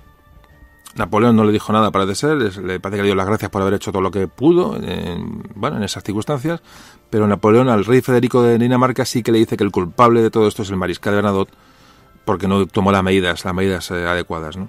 Napoleón se, obsesionó con el marqués de la Romana, realmente se obsesionó, él no lo dijo, pero se obsesionó. Y bueno, y Bernadotte, desde luego, tuvo que tener una decepción grande con, el marqués de la Romana, eso no queda duda, porque probablemente le engañó, le, mantuvo engañado durante mucho tiempo y gracias a eso, pues la, la, huida española se, produjo. Bueno, pues mm, nos vamos a las tropas españolas que estaban embarcadas en los barcos británicos y ya para terminar, eh, había que pedir permiso para desembarcar a los españoles en Suecia.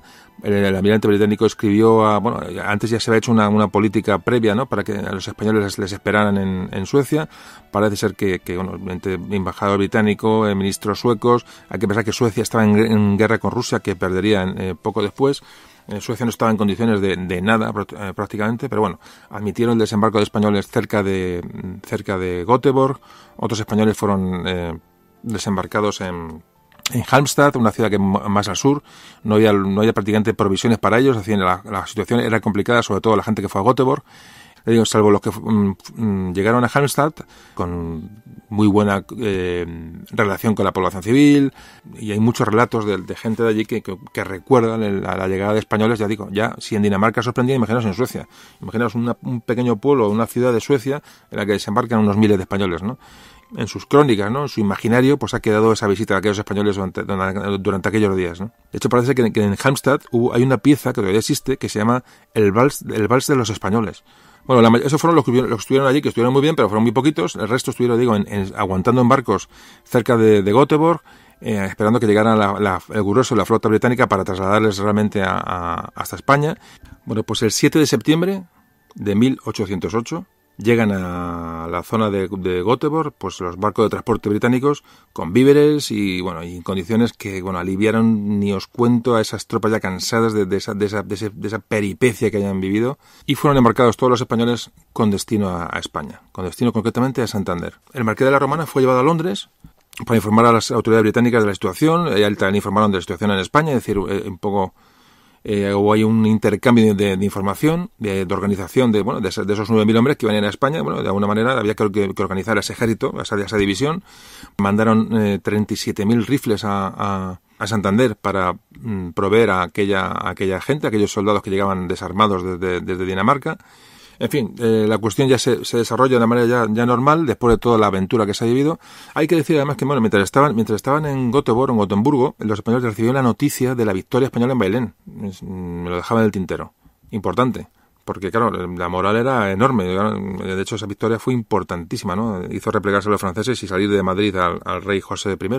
El marqués de la Romana eh, regresó a España. Estaba muy, muy enlazado con las juntas, las juntas de defensa de, sobre todo la de, Asturias y Galicia, sobre todo en Galicia. Entonces, cuando llegó, bueno, pues fue nombrado eh, jefe del ejército de la izquierda, en relevo al general Joaquín Blake, que había sido derrotado en la batalla de Espinosa de los Monteros. Hay que decir que el marqués de la Romana, una vez que estaba en Inglaterra, intentó eh, contactar con las autoridades danesas para parlamentar la entrega la devolución de los prisioneros españoles en Dinamarca, cosa que no fue ni atendida. Es decir, los, los daneses ni le escucharon, evidentemente, porque estaban presionados por Francia. Tampoco se le puede culpar a Dinamarca del asunto. Entonces, eh, cuando llegó de la Romana a España, bueno, la Junta Suprema, que estaba entonces en Sevilla, envió a Dinamarca una cédula firmada por los miembros de la, todos los miembros de la Junta, en la que se comunicaba a Dinamarca el cese de toda comunicación de España con Dinamarca y el rompimiento de cualquier vínculo de amistad entre ambas naciones. Y se declaraban confiscados todos los barcos daneses que estuvieran eh, bar, en puertos españoles en aquel momento y sobre todo le echaban en cara que bueno la negativa a recibir a la Comisión Española para, para tratar el tema de los, de los prisioneros. Bueno, total que España rompió relaciones con Dinamarca en aquel momento y hay que mm, repetir lo que antes comentábamos, la simpatía que tenían los daneses hacia las tropas españolas que contrastaba mucho con las con lo, la antipatía que tenían los, a los franceses. De hecho, hay, bueno, hay un montón de láminas, que hay muchos uniformes de las unidades españolas de la época se saben por láminas danesas. Láminas que se pintaron allí mientras los españoles estaban porque les llamaron la atención. Es decir, hay muchos dibujos de, uniformes españoles de la División del Norte en, en Dinamarca. Hay mucha documentación pintado por propios daneses que le llamaba la atención. Y fijaos si había buena, buena relación eh, que, que de, esa, de, esa, de, esa, estancia de los españoles en Dinamarca, que, que se fue transmitiendo a través de, generaciones, el 14 de marzo de 1908, ha llovido hace, hace más de 100 años, pero bueno, hablamos del principio del siglo XX, en, en, Odense, la ciudad danesa de Odense, en, que era un punto de desembarco de los, de los españoles, se conmemoró el centenario del desembarco español en, en Odense y, bueno, y se, hizo, se hizo un acto de, de, recuerdo. O sea que, mm, para que veáis que en Dinamarca la, la, eh, no, se, no se olvidó la, este, este, este hecho ¿no? de la estancia de los españoles. Realmente curioso. Bueno, ahora sí, sí que terminamos. Eh, ¿Qué pasó en España? Pues España pasó que después de Bailén, el ejército eh, francés se retiró al otro lado del Ebro, hablamos de 1808. De Bailén hablaremos, eh, la batalla de Bailén me gustaría tratarla en un podcast aparte. Eh, José Bonaparte ve que se viene encima lo que se le viene encima y huye de Madrid. ¿Y qué hace Napoleón? Pues muy enfadado, lo que hace es mandar a España 130.000 soldados de los buenos para acabar con la resistencia española.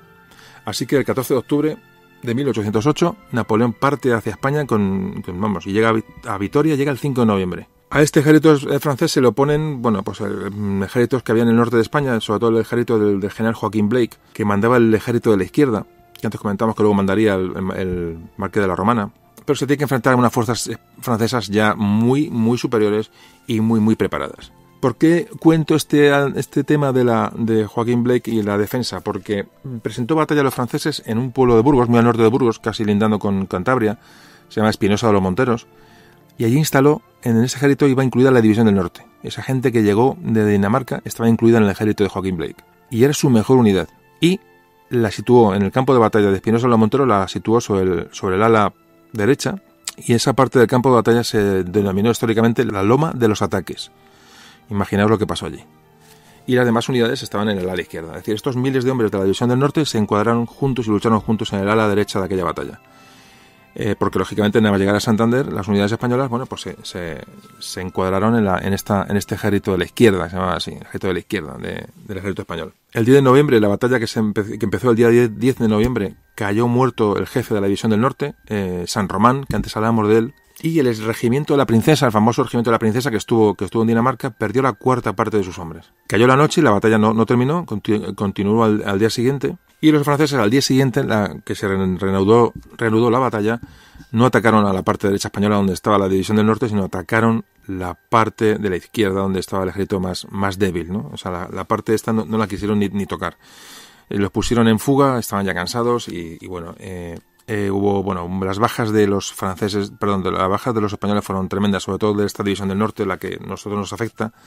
Se calcula que de los 6.500 efectivos que tenía los, esta división en el campo de batalla de Espinosa de los Monteros, esta gente que ha sobrevivido a Dinamarca con aquellas vicisitudes tan, tan de aventura, eh, parece que quedaron solo quedaron unos 3.500, o sea, más de la mitad cayeron en el campo de batalla. Y fijaos qué cosas, ¿no? Eh, una carta que mandó una carta que mandó después de esta batalla en esta época mandó una carta Napoleón al zar de al zar de Rusia en la que le decía que los regimientos traidores de Princesa y Zamora esperaba que hubieran sido definitivamente eliminados. O sea, la obsesión del petit cabezón con, la, con las fuerzas españolas era, mm, es decir, no, lo había olvidado. Él, él, bueno, él lo soslayaba, pero mm, realmente lo tenía grabado en el corazón. O sea, aquella, aquella salida de españoles de Dinamarca lo tenía, lo tenía hasta el punto de acordarse en una carta que está escrita ahí de puño y letra que esperaba que aquellos regimientos en aquella batalla, de, o sabía que estaban ahí aquellos regimientos de Princesa y Zamora hubieran sido eliminados definitivamente. Curioso este dato. Bueno, pues eh, como digo, terminamos. Eh, el marqués de la Romana mmm, contactó con, los, con el ejército inglés que llegó a, la península, que desembarcó en la, en la península en, en estas fechas. Eh, les ofreció su colaboración y bueno, lo que pasa es que el ejército inglés se vio absolutamente copado por el, un ejército francés que es muy superior y entonces tuvieron que ponerse en retirada e intentar huir por la, por la Coruña. Ahí se produjo, se produjo una batalla, la batalla del Viña, que se le conoce como batalla de la Coruña, donde el general Moore murió. Y, pero ese, retraso, que, ese intento de, retraso del avance francés, con el cual colaboró el marqués de la Romana. El marqués de la Romana estaba mm, al, a cargo de la, de la, retaguardia inglesa y el marqués de la Romana fue derrotado en una batalla en el río Esla, pero fue defendiendo la, la retirada de los, de los, británicos hacia, hacia la Coruña. Ahí también murió, como digo, el general, el general Moore. Pero gracias a este, a este retraso y esta, estas acciones, pues los ingleses lograron embarcar en La Coruña y eh, pudieron escapar hasta a Inglaterra. Um, luego, luego volverían con, en fin, con Wellington, ya sabéis, toda la historia de la guerra de independencia, de la que espero poder tratar algún día con más temas, ¿no? Bueno, pues esta fue la cuestión. No podemos hablar más de la de independencia, pero ya meternos en el futuro. El, el, el, marqués de Romana, como digo, estuvo, tuvo su ejército en el, el norte de España, eh, ya muy mermado porque los franceses tomaron control prácticamente de, de, prácticamente de toda la península, pero siguieron luchando y siguieron y siguieron siguieron eh, con su obligación, que era, era liberar a España de, de, la invasión francesa. Hay que decir ya, y paralelamente a todos estos hechos, que eh, el 30 de noviembre de, mil, de 1808 Napoleón vencía al ejército español en, Somosierra, en la batalla de Somosierra, y entraba en Madrid. Así que, bueno, la victoria de Bailén se había fumado y comenzaba esa larga y penosa guerra de independencia de que, como os decía, pues hablaremos en programas posteriores.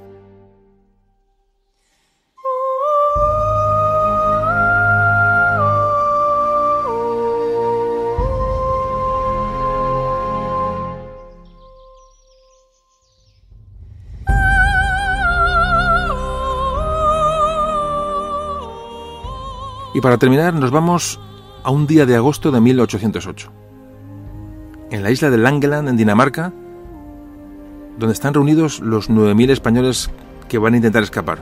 Entonces, formadas todas las tropas en círculo y clavadas en el centro las banderas, prestaron el juramento de no cejar para nada en su empresa de regresar a España para ayudar a su liberación. De aquel inolvidable momento se dijo, juraron postrados ante aquellos lábaros de su salvación no seguir más consejos que los del honor, ni más sentimiento que los de lealtad a su patria. El cielo les miró, complacido de aquel tierno y magnífico espectáculo, y patrocinó y alentó con el consuelo la esperanza de sus corazones. Solo espero que os haya gustado y nos vemos pronto.